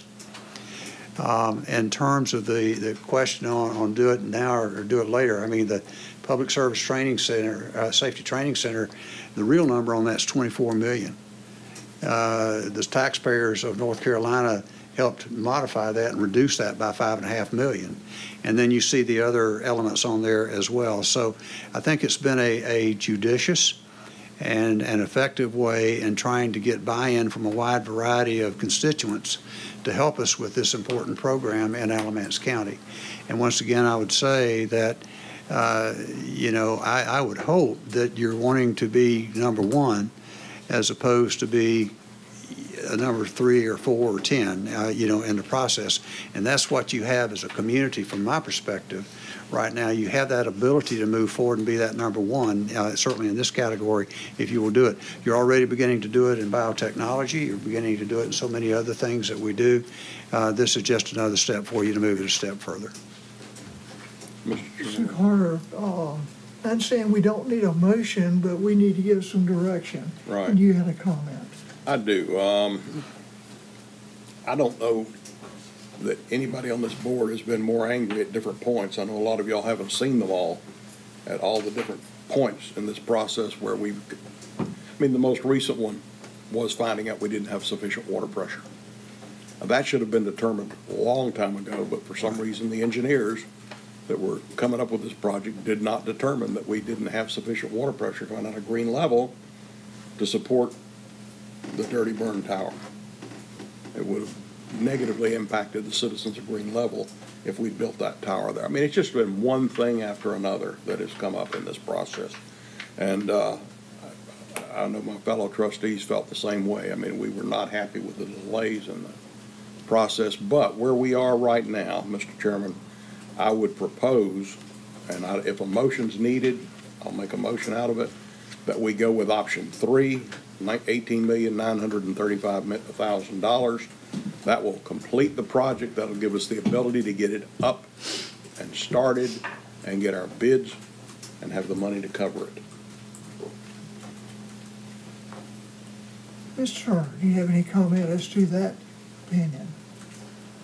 Well, I- I said many months ago, when ACC was asking for additional funds for the, for the um, safety center, we- I think we moved some funds forward a few months ago. And I said then that I would support the, the issuance of bonds that ACC had requested based on what the voters approved, but not above that. And I think this, this particular plan in option three asks for about three hundred sixty thousand dollars above what the voters approved. So uh, I would stay with what I'd said previously, which was supporting uh, uh, um, the total project funding of the limit of what the voters approved, which is eighteen point nine three five thousand dollars. So it's really option four. Um, And I would note that ACC in this request has abandoned some other projects that it, that were in the original request, um, which I see as a sort of a show of good faith there, that, that you're amending what you're asking for to stay close to what the voters have approved, not completely. So I would amend it to option four. Mr. Lashley? Uh, I agree with uh, Mr. Turner. Uh, If the number's 18935, that's the number you get. You don't have to talk about it any longer. But I want to ask any, I want to ask my fellow commissioners, how much did this public training facility cost when it first came out? Anyone remember? Twelve. Twelve million dollars. You gotta scratch your head and ask yourself, how does it double in three years? Five years. I'm saying when they came to us and told us how much the public training center was gonna cost, twelve million bucks.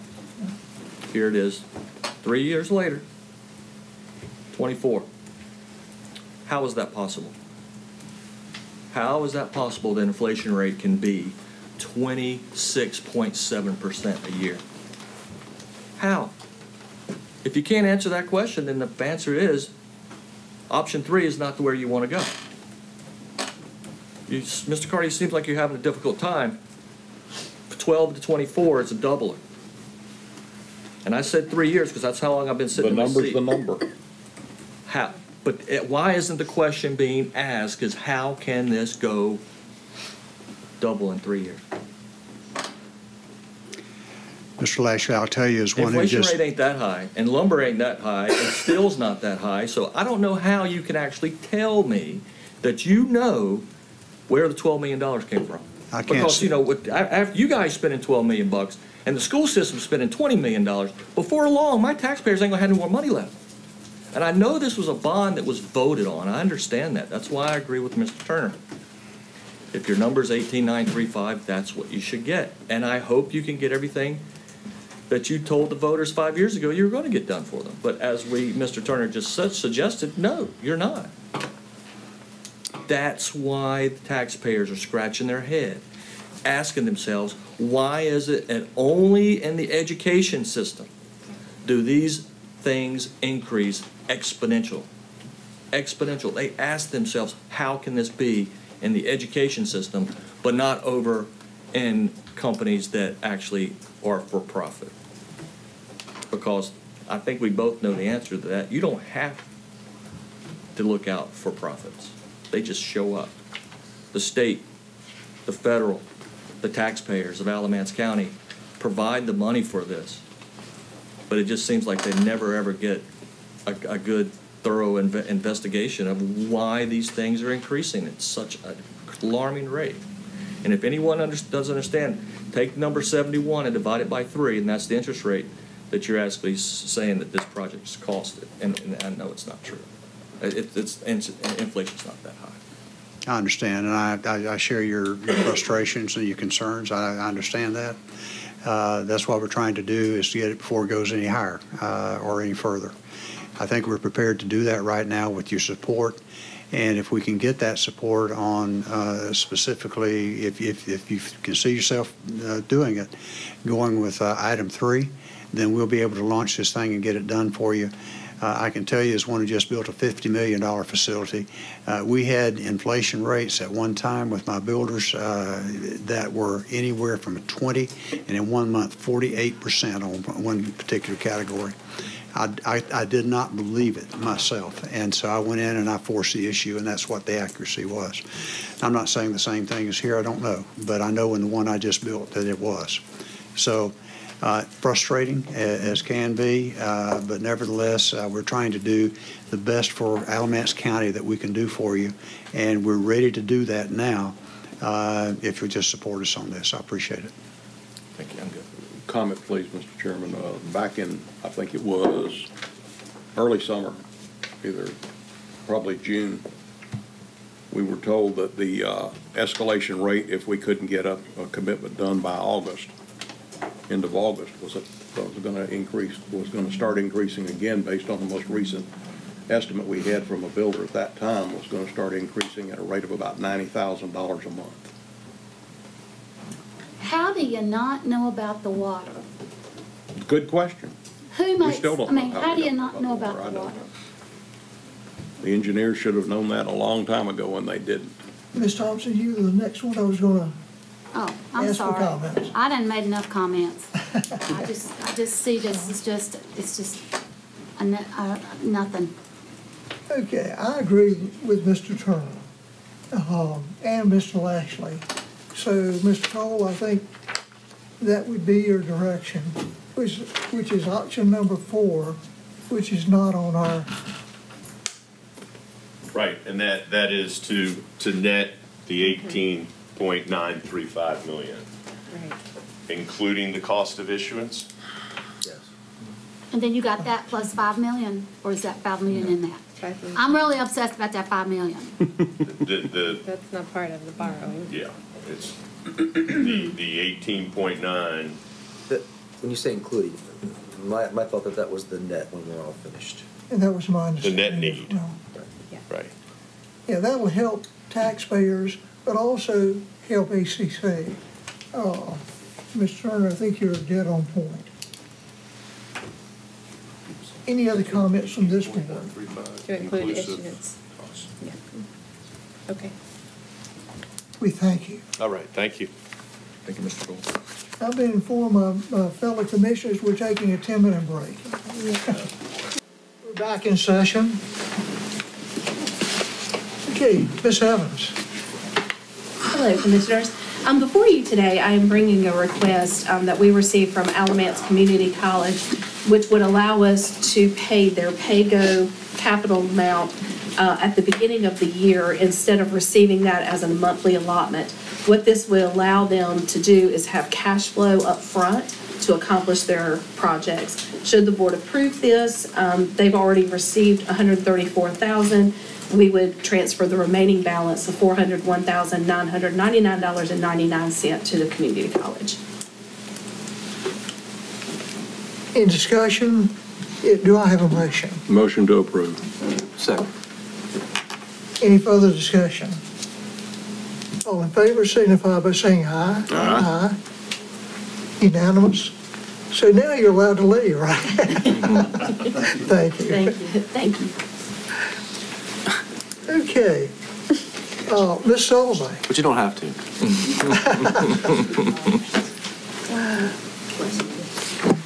good morning. Good morning. Is it still, yes, good morning. Um, I'm Sky Sullivan. I'm the director of the Family Justice Center. I have with me today Deetra Betts, the executive director of Family Abuse Services, which is our nonprofit service provider. Thank you at the Family Justice Center, our victim service provider. So first, we're here for the Domestic Violence Awareness Month proclamation. Domestic Violence Awareness Month started October 1 and um, runs through the month is a great time for us to talk about those impacted by domestic violence and those who lose their lives due to domestic violence. And I I don't know who has the proclamation. I have the proclamation. Okay. Uh, I'm going to ask you to read it, if you will. Uh, And then we're going to have a nice motion to approve it. Thank you. Want to do it together? Sure. All right. Alamance County Board of Commissioners Proclamation Domestic Violence Awareness Month.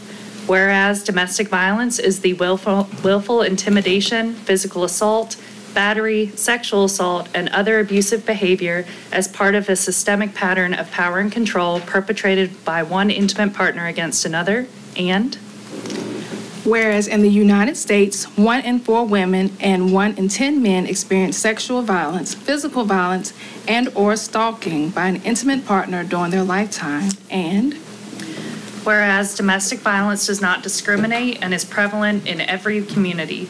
People of any race, age, gender, sexuality, religion, education level, nationality, or economic status can be a victim. And Whereas in response to multiple murder suicides and a community issue of domestic violence, Family Abuse Services of Alamance County was incorporated in 1985 to serve victims and their children with vital safety services. And Whereas only a coordinated community effort will put a stop to this heinous crime.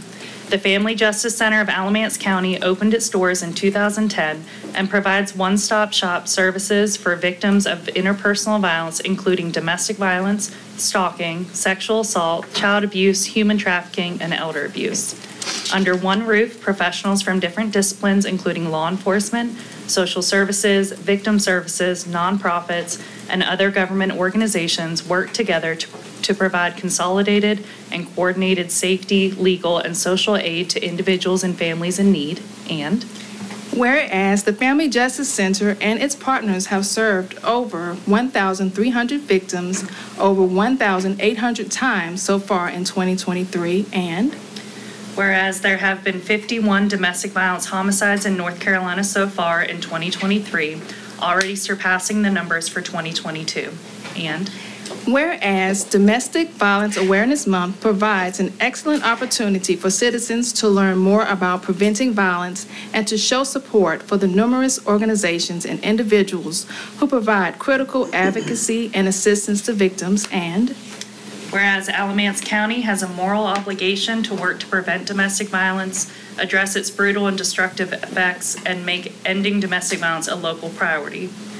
And the last part is where you all declare, which I'm not going to read. I I think from this point forward, we'll have these two ladies come back with all resolution.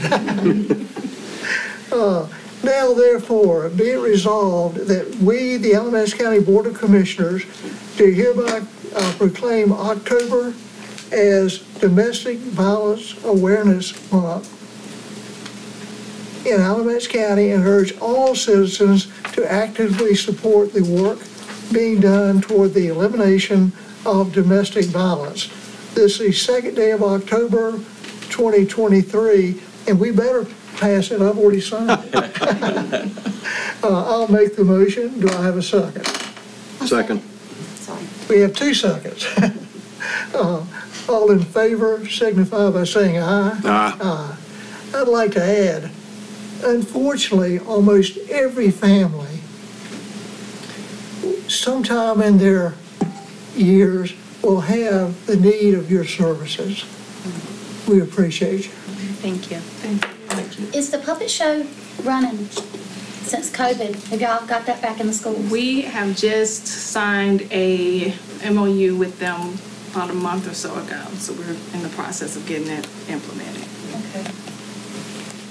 All right, so I, And we'll have a domestic violence uh, opening, is November 10th, that will complement or help you guys as well. So we look forward to that. When's the, the You talking about Diversion Center, diversion, what did I say? domestic violence. Oh, excuse me. it's okay. We Uh, said domestic violence diversion. about 100 times. Don't forget your can light So I service. think, I think that's November 10th, is it not? I'm not sure what you're referring to. Okay, there's a ribbon cutting that I've received a notice about. Uh, I'm on the Vaya board, so I'll have to check. Oh, is it down. a tour? It's a tour. Okay, maybe it's a tour. All I'm right. not sure. Okay. All right. Please, if I can, after my legs were cut on Friday and was stand, thank you so much. Thank We you. appreciate it. We also have the next item on the agenda, so we're not, she's gonna run, but we're not, I'm not gonna go anywhere. Um, all right, so I'm happy to introduce, uh, two guests for today to go over our first domestic violence fatality review team report. So I have Linda Bruton from Family Abuse Services and Corey Ellison from Vaya Health. They are our co-chairs on our domestic violence fatality review team for Alamance County. So Just as a quick recap, um, you all voted to approve the creation of this fatality review team in 2021, making us the fifth county in North Carolina to establish a team. Um, As far as I know, we are the third county to publish a report. Um, So this is uh, pretty unique to Mecklenburg, Raleigh, and um, Alamance County. And so what we do as a team is we review homicides. We do an intensive two-day review per homicide in domestic violence, and then come up with facts, findings, and recommendations. So I'm actually going to let our co-chairs present this, and I'll give, nobody's going to reach for it? You made the mistake of buttoning your jacket, that's why she handed it. That's exactly what. So, good morning, uh, still morning. Um, As Sky shared, my name is Linda Bruton, Corey Ellison. and we are going to go over the data, um, the observations, the findings, and some successes that we have had um, through our uh, domestic violence fatality review. Um, So, in the past 20 years, approximately 21 cases of homicide um, due or related to domestic violence has happened in Alamance County. Of those 21, 17 were related to intimate partner violence. Four of those homicides were where that we had a um, bystander, friend, or relative that intervened during the process. Um, And this, in these cases, majority of the perpetrators were male. Um, It is noteworthy that um, the statistics for this homicide, these homicide cases, where the victim, uh, I'm sorry, did not include where the victim was wounded, was severely injured, or um, later died due to the complications of the incident. And it does not also include where the victim potentially later died by suicide. Um, Of these cases, in the state of North Carolina, not only in Alamance County, 77% of homicides due to domestic violence were um, including guns. We did have some critical findings um, within um, the domestic vi- domestic violence fatality review.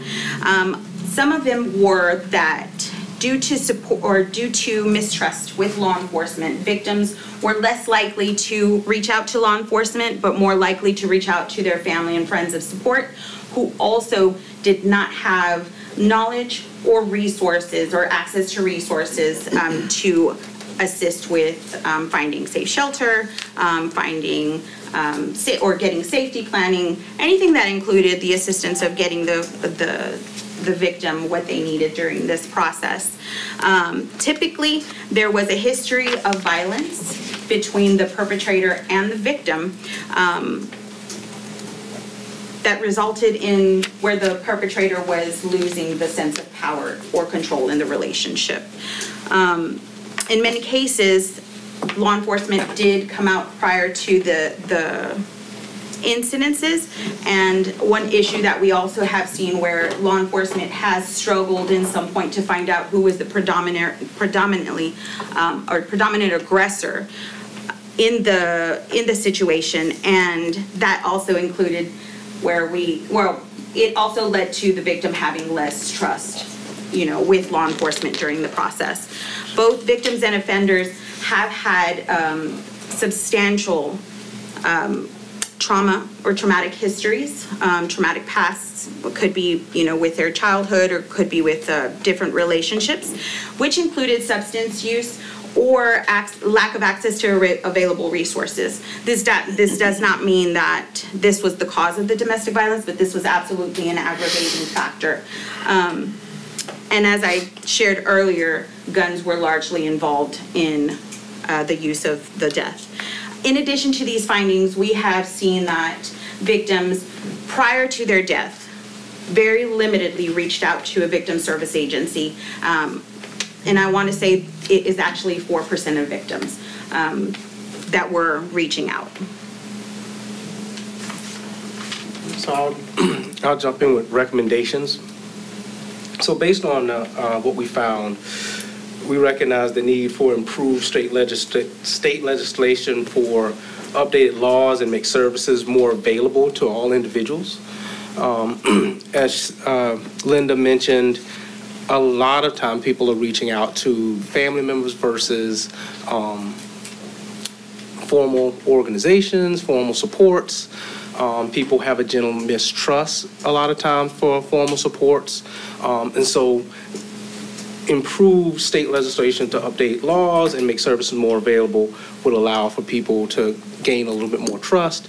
Um, also, outreach programs to our community agencies. Um, a lot of times outreach programs to churches, um, to some of those more community supports would, would bridge more of that trust with our formal supports that have more of the resources. Um, we need a more standardized protocol across the county for public and private entities. Um, a lot of times, what we've noticed is a lot of times, um, there's a lot of information out there, but there's firewalls, right? So, um, the person touched DSS, but law enforcement doesn't know what DSS knows, DSS doesn't know what we, um, and so being able to do more of that, um, information sharing and putting that in protocols. Um, uh, emphasis on, um, well, I already said community engagement. Um, pro- prevention, more prevention programs, um, that includes for state, state, for schools and for youth, for K-12 programs. I know, um, Ms. Pamela mentioned, um, the puppet show, getting more to teach kids more, um, healthy relationships, um, teaching especially more support for kids who might have witnessed um, domestic violence. Um, and I think that is it. Um, one of the things I think that Sky also mentioned is we are also one of the three that are still going right now. So there were five happening, but we are one of the three that's going on right now. So Alamance County is actually doing some really um, progressive things across the state as well. Um, I believe we also have uh, one of the tools that we utilize here as far as The LAP screening? the LAP screening that isn't used all, across the state. That's um, really innovative here in Alamance. So what I'll say last is, um, so we are seeing dwindling resources in interpersonal violence fields, victim service agencies, law enforcement, government agencies, and an increased need for these services. Um, so what we also recommend is that anyone who knows any funders, like the Governor's Crime Commission or anyone like that, um, that they prioritize basic services for these victims. Right now, service demand at the Family Justice Center is higher than it's ever been, but the budget for our victim service agencies is lower than it's been in the past 10 years. And so those are really hard things to reconcile. I'll also say that funding usually doesn't prioritize prevention. So a lot of these homicides occurred with people who experienced trauma as children. So these offenders who, who eventually become lethal, um, either witnessed domestic violence as a child, um, or they had a, a death in their family due to domestic violence and they repeated that as an adult. But one great thing is that Alamance County does a lot of things really well and a lot of things where we're leaders in the state for what we do, and that's just really exciting. Um, so in 1990, Alamance County established a domestic violence advocacy committee. That was not required at the time. That was just leaders coming together saying we need this, and now it's called Victims Advocacy Council of Alamance, which is still running. Um, Thanks to a lot of community partners, including Family Abuse Services, law enforcement, DA's office, judges, Department of Social Services, and the Alamance County government, we opened the first Family Justice Center in North Carolina in 2010. Um, we are one of five teams, and I believe one of three who have published a report. We have served over 13,000 clients over 17,000 times since we opened our doors. Um, We were the first in the nation to implement electronic filing for 50B restraining orders. Alamance County was one of 10 counties nationwide to receive a grant to um, look into the issue of elder abuse, which I know I've said many times, it, the age is 50 plus, uh, and we do have a, a large 50 plus population in Alamance County. We are using the the lethality assessment uh, screening tool with law enforcement on scene to try to identify cases that could potentially become um, a homicide in the future. We have a professional culture of open communication um, and very effective multidisciplinary teams, teams like Justice Advisory Council. I talk to communities all the time that don't have something like JAC, and it's just really great that we have something like that functioning here. Um, And we are an active participant in the North Carolina State Review Team Collaborative, which is pretty new in its um, founding, but something we're trying to enact some policy changes and statewide changes. So that was a lot of information. I think I stuck to, to 10 minutes or less on that. Do you have any questions for our team? Just wanted to acknowledge uh, Judge Kim Robertson, who was heavy duty, mm-hmm. and particularly all kind, the Domestic Violence Center and electronic filing and so many of the things you mentioned. Yep, and he still shows up to check up on me, make sure that FJC is running how, how it Not should be. surprised. Lord? Just thank you for your presentation, really enjoyed it. Very good, yes. So we only have to do a report once every three years. This is our first one, and hopefully we'll get another one to you in three years. Um, We have sent this to the Domestic Violence Commission, and we'll be sending it to the Governor's Crime Commission, hopefully advocating for some changes in laws, specifically around strangulation, what class of felony it is, and things like that.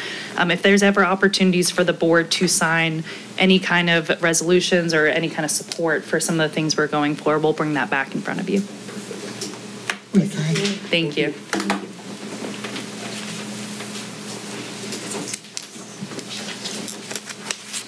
Mr. Baker?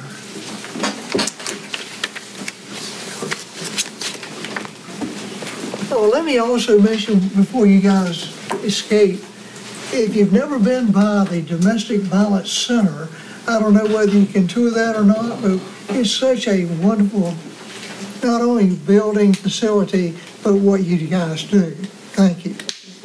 Yes, I, anytime someone wants to tour the Family Justice Center, I'm happy to give that tour. Thank you. Good morning. Good morning, Commissioners. Uh, I morning. just want to provide you with an update on uh, the assignments we were given last, uh, last meeting, uh, really to determine the best way to get a complete assessment of the roofs and the HVAC systems of county buildings and school system buildings. Um, So I reached out to 10 different companies, and those ranged from architecture firms, roofing contractors, HVAC contractors of different varieties. Um, And just for review, I asked them to inspect, inventory, and assess the conditions of all the roofs and HVACs. That's 83 total buildings between the school system and the county. So it's a big assignment. Um, Asked them to provide a list of the needed improvements for both roofs roofs and HVACs, including the humidity controls, just make, what do we need to do to make sure these buildings are, are safe and efficient? And I asked them to provide a a prioritization schedule for those repairs um, over time. So I got four bids back for the, for, for that work, and it ranged from um, big to small, right? So I'm going to kind of just go over what I got back.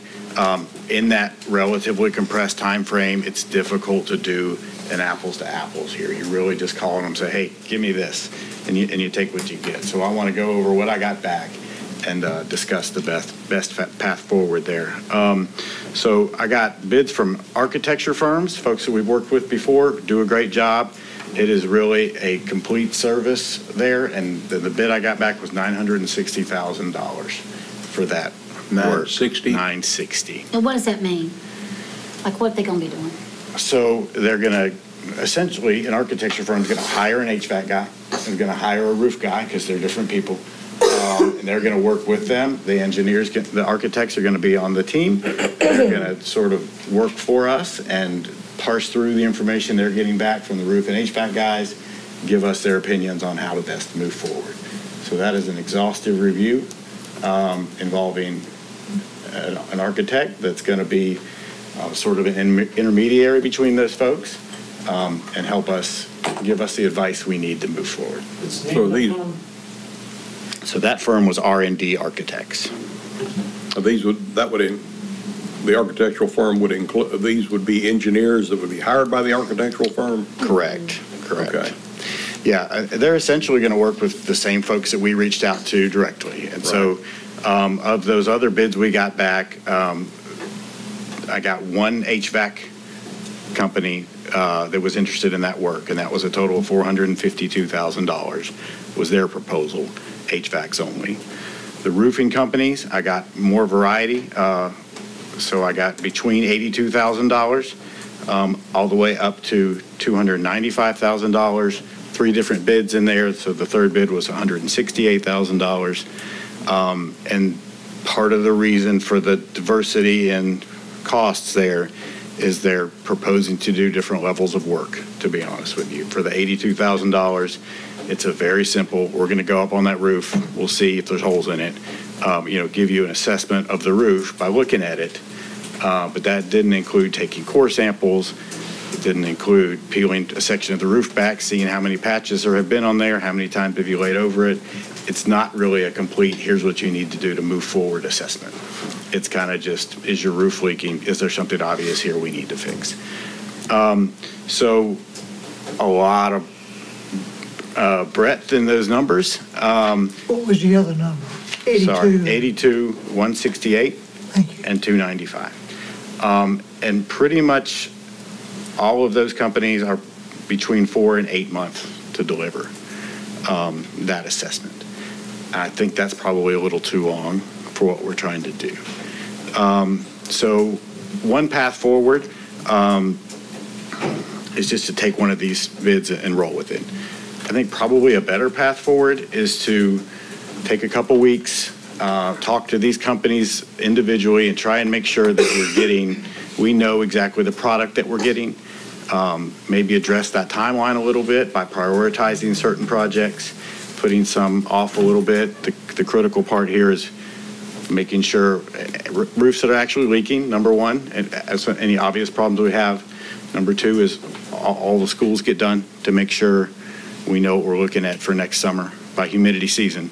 And some of our other th- buildings are important, are important to have on the prioritization list, but they're not the first things we need to do. So I think we can get our time frame a little bit better f- to get the information we need to know. I think we can dial in those numbers a little bit, and importantly, dial in the service a little bit to make sure we're getting what we need out of this as opposed to Who a was the HVAC bid from? the the single HVAC bid we got was from System Contractors, Systems Contractors. So they put in a joint bid with WX Tight to do a roofing package. um, But their portion of that, their HVAC costs were 452. And Where are they from? They're not Alamance County. I, that's a good question. A lot of companies, they're all local-ish. I think they're probably Greensboro, but I don't quite remember on that company. Yeah. Um, So happy to answer any questions about those numbers or, or take some direction on moving forward. And who were the roofers? Uh, Got bids back from Baker Roofing, REI, and WX Tight. Can you identify them by cost? Sure. Baker Roofing was 82500 Um, REI was $295,759. And WX Tight was $168,015. I beg your pardon? WX Tight is the name of this company. WX Kite? Tight, W-X-T-I-T-E. And they pronounce it WX Tight because I asked. So- I recognize Baker because they did uh, Broadview and Cummings, excellent company. I ain't saying nothing. And so. I knew the name. And so, uh, again, not a slight on Baker. I I think they're capable of doing whatever we ask them to do. But the proposal we got back from them for their inspections was, was a fairly cursory inspection. Uh, And I don't think it includes all the information that we're going to need. If they're going to, if they say there's a problem with the roof at Broadview, and I'm I'm hesitant to make up a school because I don't know the schools, but I They just got made up a school. Don't be saying I don't know what's going on with Broadview's roof. They're good. Well, whichever roof, if, if they say, oh, there's a problem here, we're gonna need to know, okay, has that roof been patched? Have we put another layer on that thing? What is the fix? And this quick assessment is not, I don't think, gonna get us all that information. And I think They we would need be more, I would su- I would suspect, right? Is some They will reason do what they- we asked them to do. I think just on that timeframe, um, we got back their best guess of what they, you know, what they assumed we wanted, and they weren't always apples to apples. And But two weeks will give you the time to really assess and negotiate. that would be my hope, is in the next two weeks, I can have individual conversations with these folks um, and say, okay, here's what we really wanted. What can you do that for? Um, How much is, you know, what- what's the time frame? Can we get a little quicker on some of these projects, a little slower on the others? Um, So ideally, I would bring, be able to bring you back a complete cost, and we'll see about a contract in a couple weeks, but we get some direction, um, a better idea moving forward than these really broad numbers. We'll also request at least that you evaluate each company as well. Sure, absolutely. And, and some of these companies have a lot of knowledge about our school system, uh, because they've been working on it for years. Some of them are brand new to it. Um, So again, that's some reason for this, the numbers being all over the place, because some folks knew what they were getting into, and some didn't. Wasn't Baker the one that was recommended by Mr. Bass? He mentioned their name. They are a big company, and again, I think they're He capable. did say they would be really low on the assessment side. Okay. Well, Baker has well-known reputation as positive. Right. So, uh, what I know about them. Mr. Turner, Uh, Thank you, Mr. Chairman. I have a couple thoughts. We- We talked last meeting about really two tasks. One task was a- a quick evaluation, particularly of school buildings where, where we knew there was a roofing problem. And that's probably closer to what the the Baker proposal reflects. Yeah. Quick hit, are there things that we know that we can fix immediately? Second task, long-term, deep evaluation. Um, and so I think that the best approach would be reflecting those two tasks. Um, When talking about four to eight months, I do think that's, that's long-term. I, I wonder though, you know, they could do a report out, like if you prioritize schools, you could focus on schools, do a report out on schools, or even a report out as you, as you learn about each school which would speed up that process. Uh, Probably could use uh, information that, that the school system has already and with, with records of particular schools, fixes at particular schools. That could speed up the process too. Um, So I think there's a way to manage this to get quicker than the four to eight months and do those two tasks. And I think we really ought to ask for the, for both when we're, when we're evaluating this. So the Baker proposal, which again was a simpler inspection, was still a four-month timeline. Um, So, and I think that's a reflection of the, just the amount of buildings that we're talking about. Well, there, we don't, there's not active leaks in every school building. Correct. I mean, I think we, we, we funded, you know, design requests for Western Elements, Western High, I think we ever Jordan, we know those are issues. Focus there. Is there anything else, you know, Greg Cook, is there anywhere else you're seeing a problem? Yeah. Yeah, well, let- let's, okay, well, let's go over here. And that, that should be quick. Yeah, I think so. And I, so I'm not sure that, because of that reason, I'm not sure that the, the two-tiered report is 100% necessary, because I think we can, let's prioritize these 10 places and get a report out on those immediately. And a, a report as you go scheme, I think, is what we need, and that way we're getting the immediate information we need, and it just builds upon that over the long term. So I think you're gonna, the cost here is getting guys up on roofs. Uh, It just costs a lot of money to go to every school to walk up around. So I think if you're asking for both a quick assessment and a long-term assessment that might involve different companies, you're going to incur a lot of unnecessary costs that way versus just prioritizing the ones that you need from uh, a company, saying, go up on that roof one time, but just do these first and give us a report immediately thereafter. Hopefully, we can have that in a month or two uh, for the problem areas or the the priority schools, and then we'll just report as we go. But it's certainly something I can ask about. Well, you may be duplicating efforts too, if there's a design and process for those three schools that is, that is the long-term fix. Right. We would skip, we would skip those. Okay. The ones that have already been designed and and Unless, planned. unless there's a, uh, you know, a, a, a one-day evaluation process that says, oh, you know, fix this thing, and, so I think that's a conversation, we wouldn't want to duplicate efforts, but, um, I- I guess there's different needs at different places, and as long as we have a plan that accommodated for that, at the same time, we're getting information as quickly as we can about each place. I think that's the way that we ought to go. Right. Mr. Carter, I'll just go down the line. Um,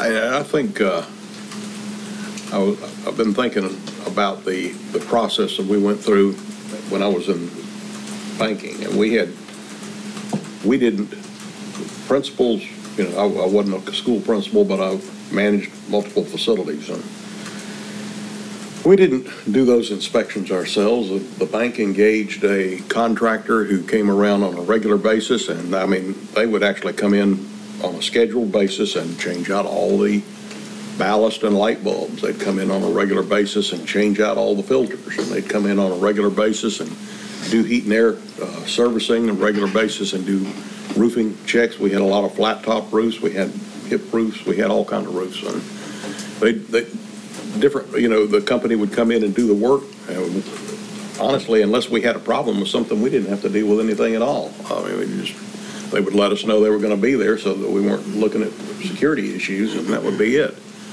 Um, I think there's gotta be a really smart way for us to find a way to make sure this doesn't happen again, and this is the beginning of that process. Um, I'm not sure which one of these is the best way to go, but large companies that can hit all the schools, all the buildings in the county and check them out, service them when they're needed to be serviced, and create a budget for us. So we go into budget time next year, we kind of got an idea of what we're looking at. I think that's kind of where we want to be. Um,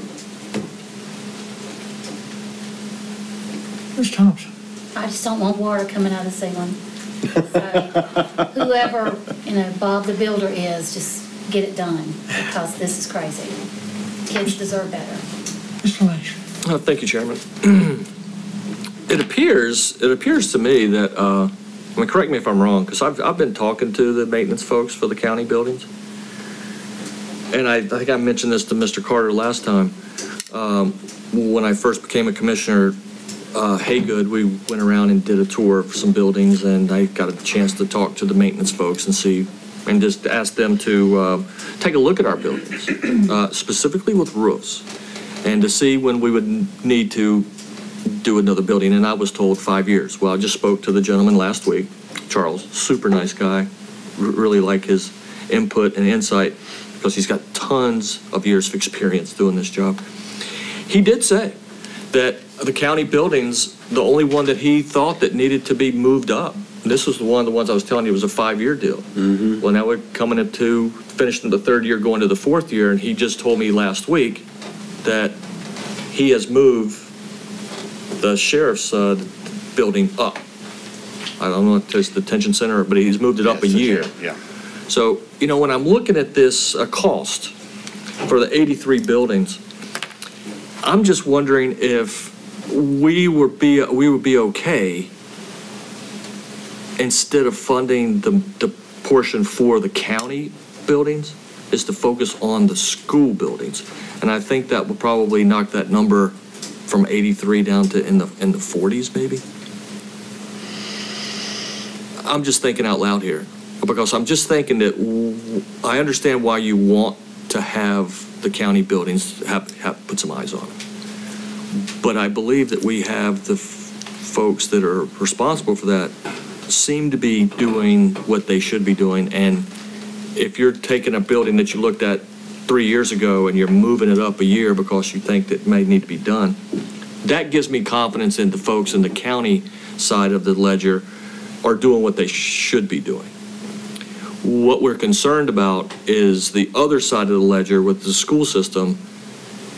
Maybe some things were not done the proper way or need to be more focused on going forward, so make sure you don't have that happen again. My question to you is, in your professional opinion, do you think that we could focus just on the school system buildings and less on the county buildings? It's just, it's, I'm spitballing here. I'm So I just think it's reasonable to thinking about focus on the school system buildings first.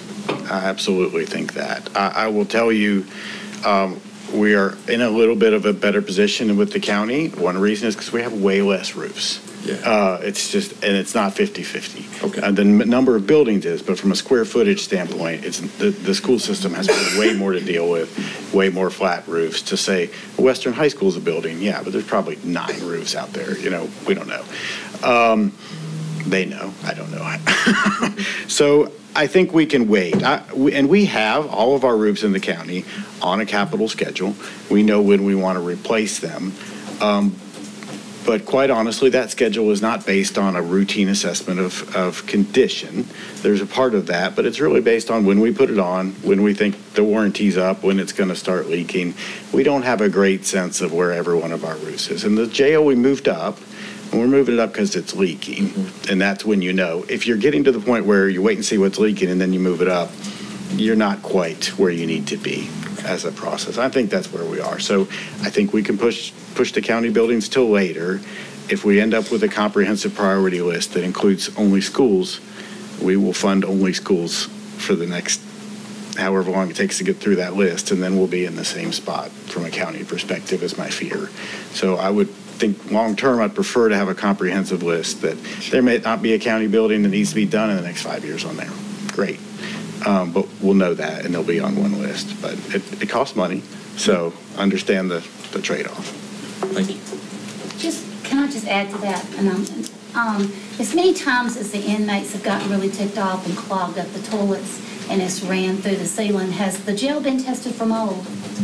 I don't know the answer to that, I'm sorry. I'd like to know the answer to that. Yeah. Eventually. I'm I'm just curious because that would make sense when things are running through the ceiling. There have been some roof leaking problems over there. We've addressed them, ongoing issues, trying to make sure that they're patched and not actively leaking, but it's time Okay, over there just for, curious. yeah.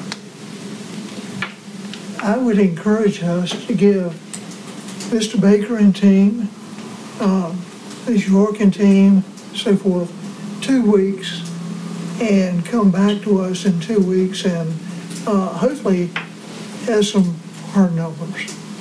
Okay. Board, do you agree? I do. Great, thank Well, Your sentence is two weeks. Yeah. Mr. Baker. Two-week job security. Thank you. Thank you, Brian.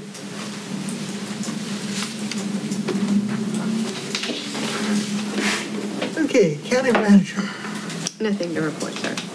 Best report all day. Thank You're you. welcome. Uh, Okay, uh, Ms. Thompson, we'll start off with you with commissioners' comments, if you have any. I don't have any, just, just hope the balloon festival turned out okay. I know outside events, ready, anything is so dependent on weather, and I know we did have some rain that weekend, so I hope they did well. That's a lot of work. Thank you. Mr. Lashley, I have none, thank you. Mr. Turner. Thank you, Mr. Chairman. Really just a question. I know we put in the budget um, some funds for the implementation of a salary study beginning November 1st. Just checking in on where we are with that and what we think the deadline might be to Sure. have some solid information. A consultant has been selected to try to work on this issue with us. We're uh, assessing one-third of the organization. I don't have a firm deadline yet. I'm thinking December one is probably closer, um, but I don't know that for sure. So as soon as I have some um, firm dates, I'll, I'll bring an assessment or an update back to the board with that. Yeah, I think we don't want to lose speed with that. We don't, you're right. Mr. Carter. I don't have any comments. Um, Yeah, the only comment I have is, uh, uh, Mr. Baker, I think probably the schools need some prior, they have a lot more buildings, a lot more leaks. And I think we've been much more active on maintenance than possibly in the past history of the school system, uh, school system. Uh, appreciate, Dr. Butler, you being here. Thank you. Thank you. And that he's feeling better. Oh, absolutely. But we hope we didn't make you sick the other day. not, not, not this time. Not this time. Okay. Um, Mr. Stevens, I don't have anything for the open session, but I do have two closed session motions for the board to consider. Um, First, pursuant North Carolina General Statute 143-318.11A3, I ask the board move into closed session and consult with an attorney employed by the public body in order to preserve the attorney-client privilege between the attorney and the public body. The attorney will seek instructions on the handling or settlement of administrative matters. Secondly, pursuant to North Carolina General Statute 143-318.11A5, I ask the board move into closed session in order to instruct the body staff or negotiating agents concerning the position to be taken on or on behalf of a body in negotiating potential purchase of the real property owned by Todd Smith, described as parcel IDs 145809 and 145819, for potential use by the county for expanded office space. I'll make that motion. Second. Any further comments? There being none, uh, all in favor going into closed session at this point, signify by saying aye. Aye. It's unanimous, thank you. Back in session now. Um, Ms. Stevens, I think uh, you Yes. have a Yes, I would request that, I would request the board make a motion to spend from the fund balance to pay for MAI appraisals on the 10 properties that were discussed previously by Mr. Akins in the session presentation to you, uh, to get valuations on those properties based on that MAI appraisal. And I'll make the motion. Second. In discussion, all in favor signify by saying aye. Aye.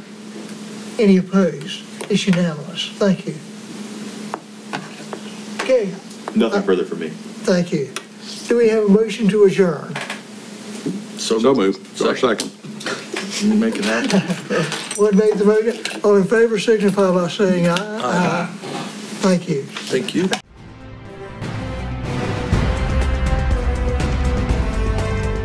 Thank you for watching the Alamance County Commissioners Meeting. Commissioner meetings typically occur on the first and third Monday of each month in the Commissioners' Chambers at the County Office Building at 124 West Elm Street in Graham. The first Monday meeting begins at 9:30 a.m. and the third Monday meeting begins at 6:30 p.m. Changes to the meeting schedule will be posted on the county website at www.alamance-nc.com. The video of this meeting will be broadcast on LocalGov TV. Please go to www.localgovtvnc.com for more information about their schedule and to see more videos produced by your local governments. You can also access this meeting through our YouTube channel at www.youtube.com forward slash Alamance County NC or by clicking the YouTube link on the county website.